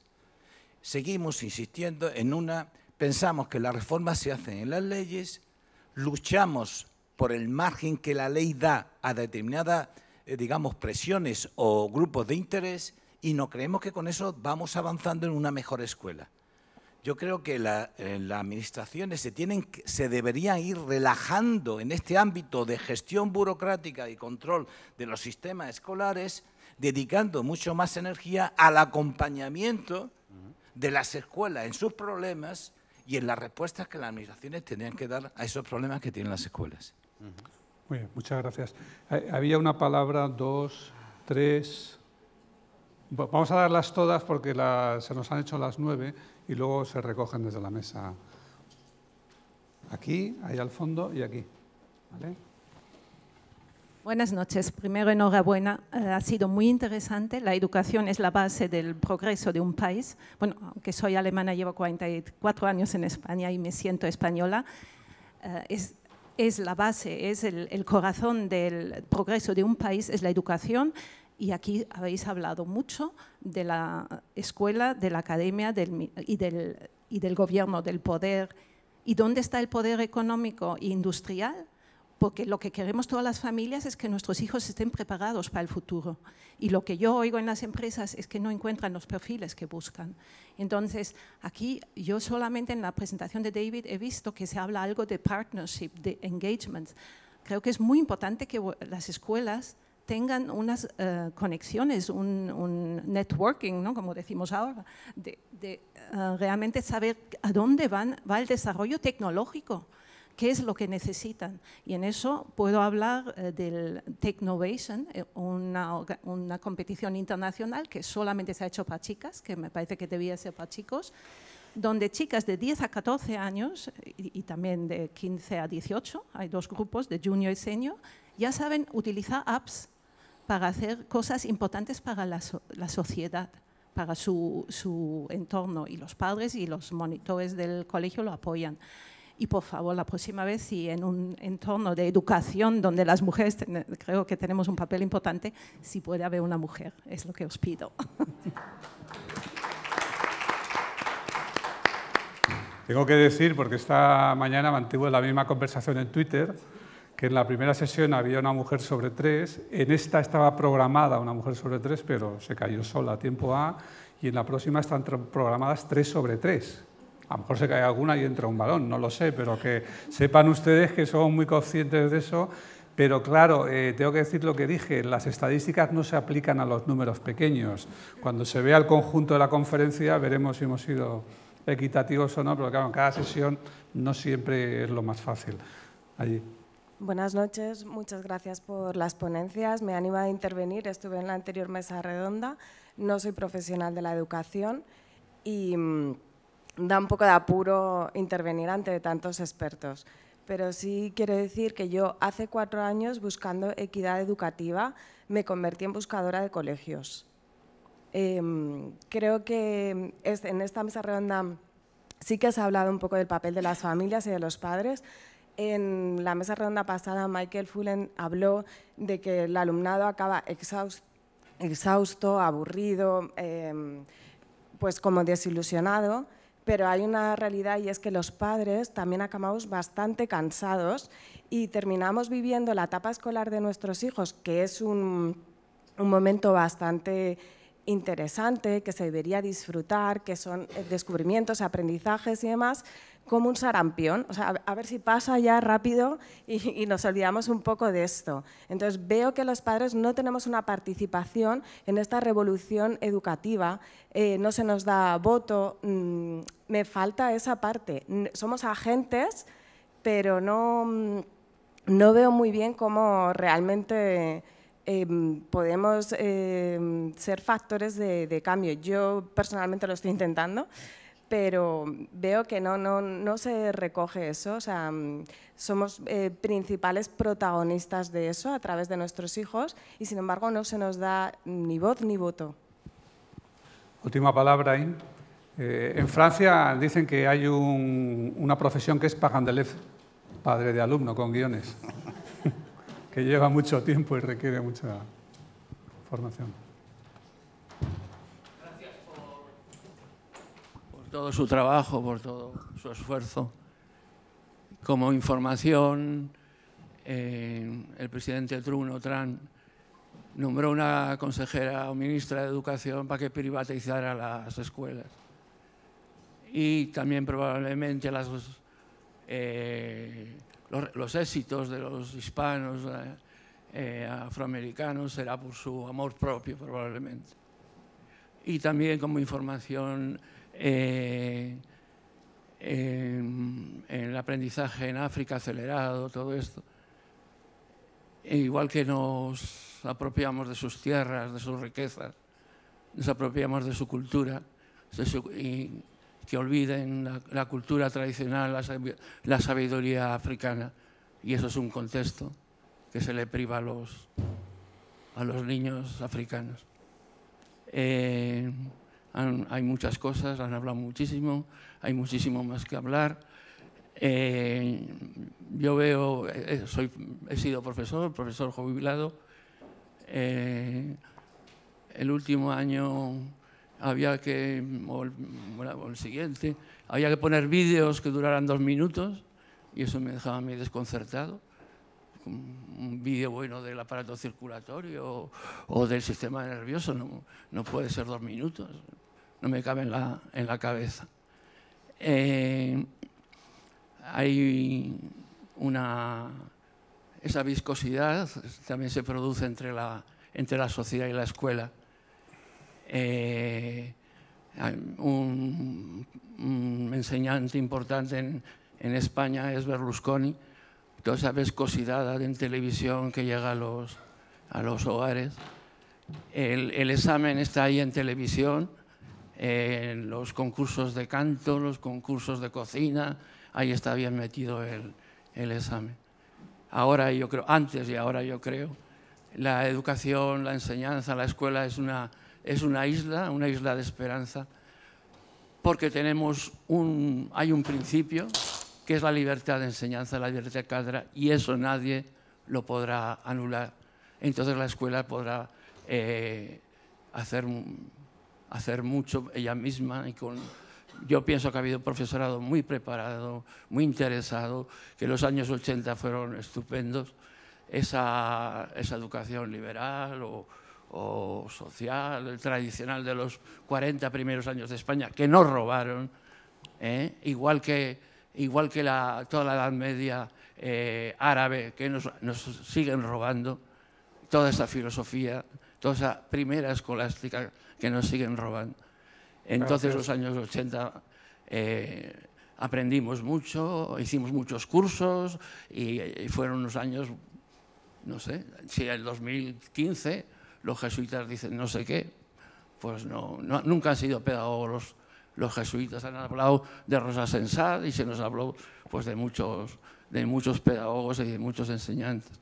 Eh, Vamos a dejar que el Estado, el Estado, perdone, el Estado de eh, tenemos eh, los jesuitas, tenemos Montserrat, pero yo creo que, que tanto Cataluña como el resto de España eh, no, no, entiendo que el Estado esté influyendo en la, enseñanza, en la, escuela pública, en la escuela pública ni la, ni la religión, ni el Estado. Gracias.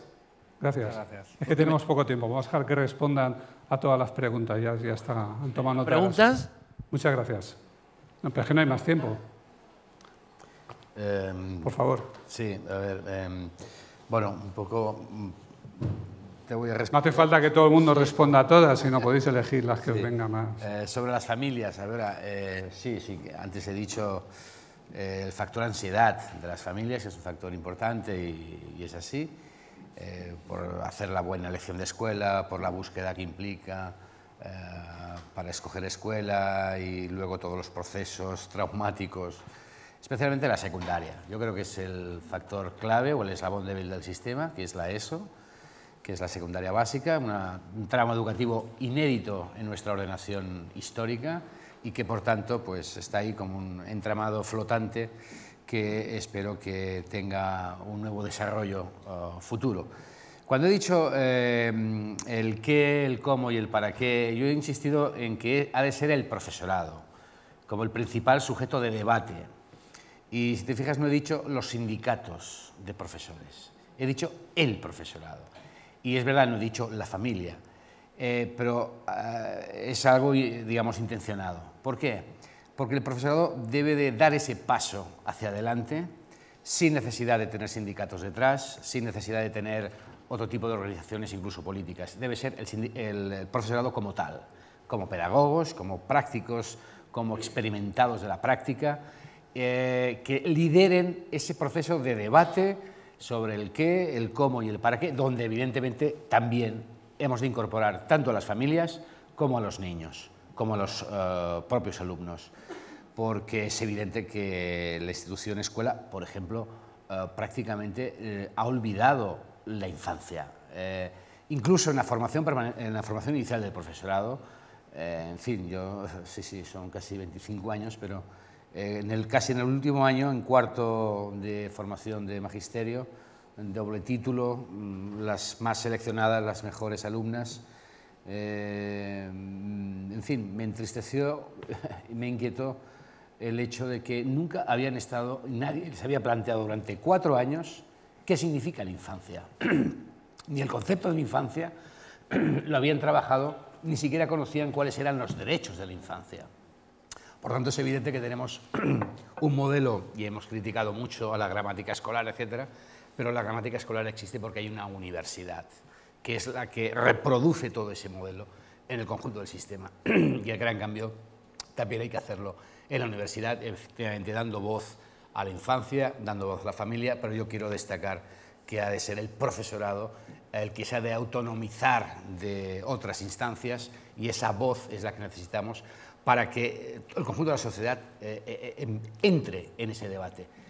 Eh, respecto a lo que decía eh, Rodrigo, eh, a ver, claro, todo depende de las culturas educativas políticas de cada comunidad autónoma. Es evidente que aquí hay ciertas comunidades autónomas que la innovación la ven como una transgresión, que envían a la inspección rápidamente como si fuera la policía de orden público, cuando otra instancia educativa es la inspección, que evidentemente se debería de transformar como acompañantes de los procesos de cambio uh, y no uh, reproducir ese modelo fiscalizador que también responde a cierta concepción de la matriz escolar, ¿de acuerdo? Y es evidente que a la vez, en todas partes, la innovación molesta. Molesta porque por eso se ha permitido en las periferias. Otra cosa es llevarla al corazón del sistema. Mientras esté en las periferias no molesta. Ahora, eh, en todas partes molesta, eh, sean gobiernos de un tipo o de otro signo político, porque, vuelvo a decir, es una institución escolar, la institución escolar es una institución bastante eterna y eh, si hacemos ciertos cambios, pues el electorado puede dar la espalda, etcétera, etcétera, etcétera. Por eso yo creo que es más necesario que nunca abrir procesos de debate y de consenso, de debate fundamentado y de consenso, de diálogo entre los protagonistas directos, alumnos, eh, niños, profesores, direcciones, etcétera, con los expertos que podamos acompañar. En todo caso, Euskadi está haciendo o ha hecho a través de su consejo escolar un proceso de debate en un marco de metodología de innovación social, donde desde abajo se han propiciado ese tipo de sesiones de debate y se han subido al Parlamento a presentar cuál sería el modelo eh, escolar de futuro. Vamos a ver si en Euskadi eh, nos llegan noticias eh, interesantes. ¿no? Ahí tenemos a la cara visible, sí, sí, que, que, mira para atrás, para abajo. Hernando, y luego dejamos que cierre nuestro invitado. Nada, yo, eh, necesitamos algo que sí se puede hacer de las, de las administraciones, necesitamos un marco de entendimiento de, lo que es la innovación educativa para que no se produzca una inflación y una devaluación del término, que es algo que estamos viviendo ahora mismo.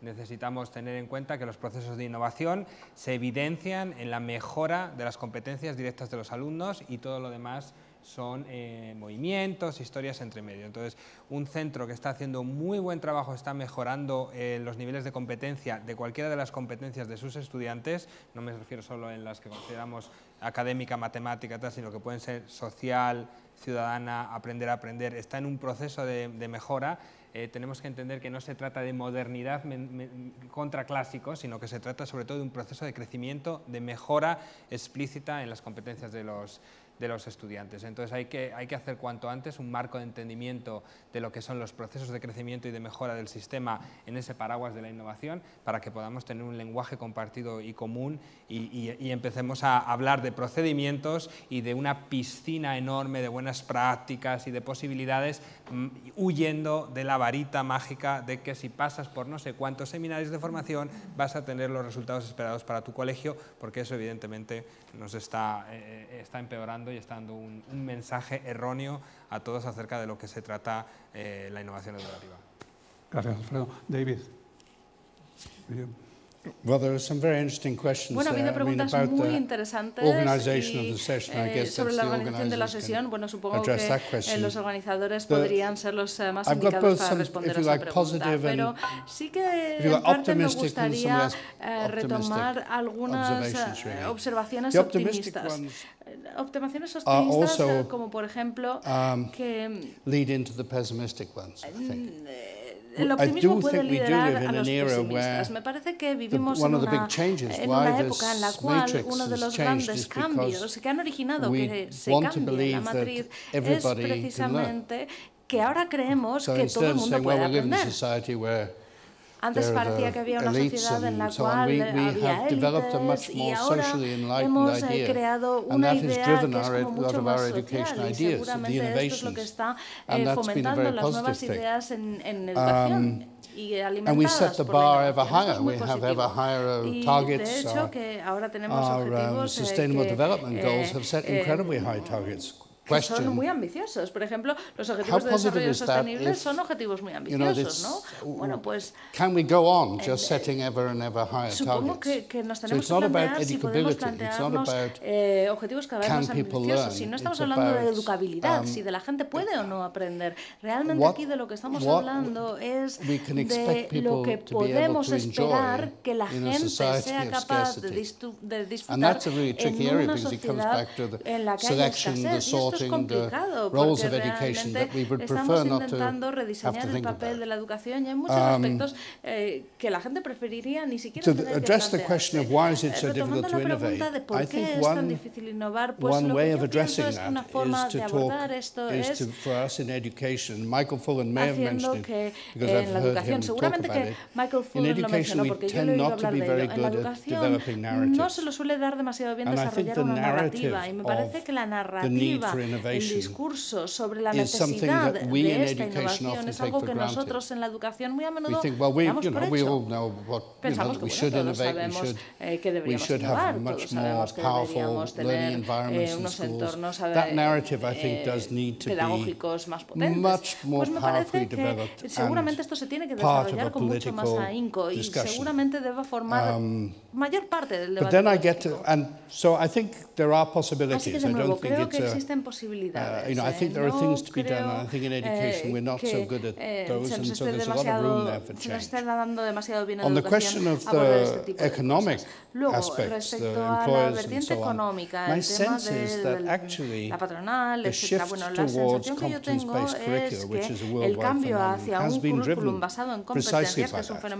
The, the, the, the, the emphasis on skills and competence has been very strongly driven by an economic agenda. So a lot of por una especie de interés económico. It's not a bad thing, y no es que sea malo, but it has, I think it's very present que realmente es algo que está muy presente Where en I get then more pessimistic, I think, is partly the idea that we're in a post-industrial, non-hierarchical world.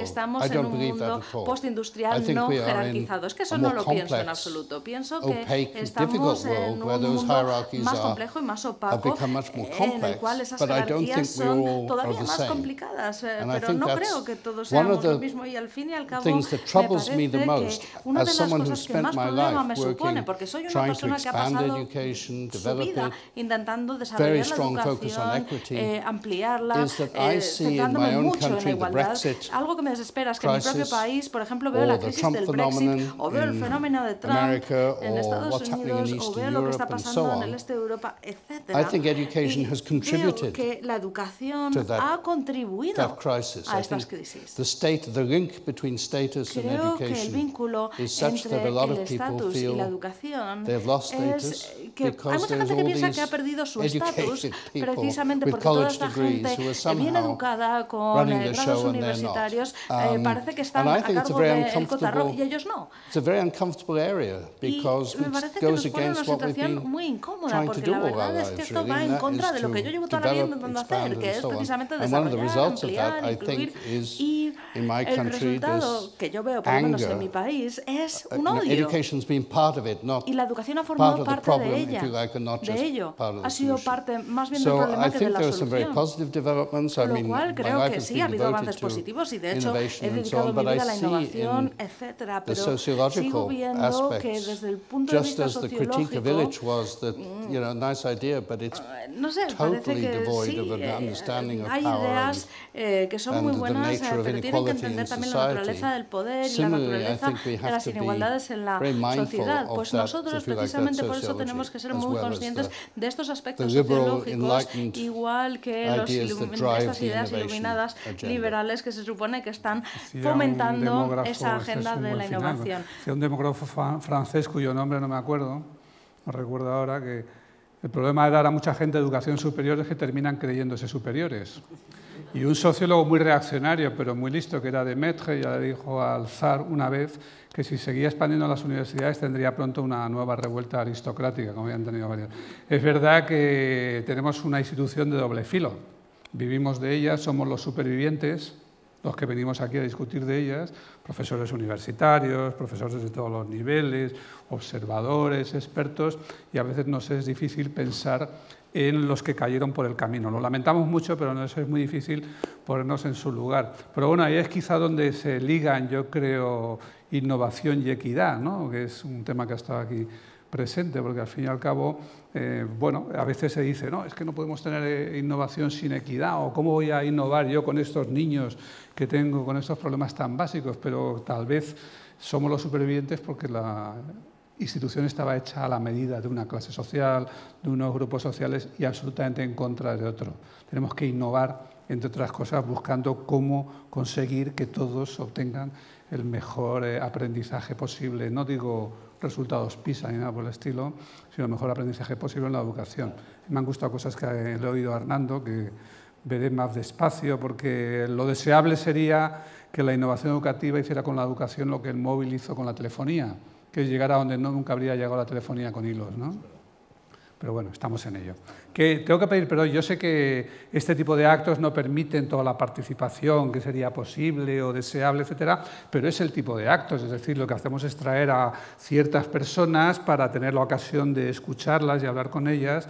Hay otro tipo de actos que se hacen en otros, en otros contextos, hay seminarios, hay conversatorios, hay redes, etcétera, pero aquí lo que podemos permitirnos es esto, una intervención de gente que viene eh, con un largo trabajo detrás y un pequeño debate siempre insuficiente con el público. Así que agradecemos la comprensión de todos. Lo entendemos, pero lo agradecemos.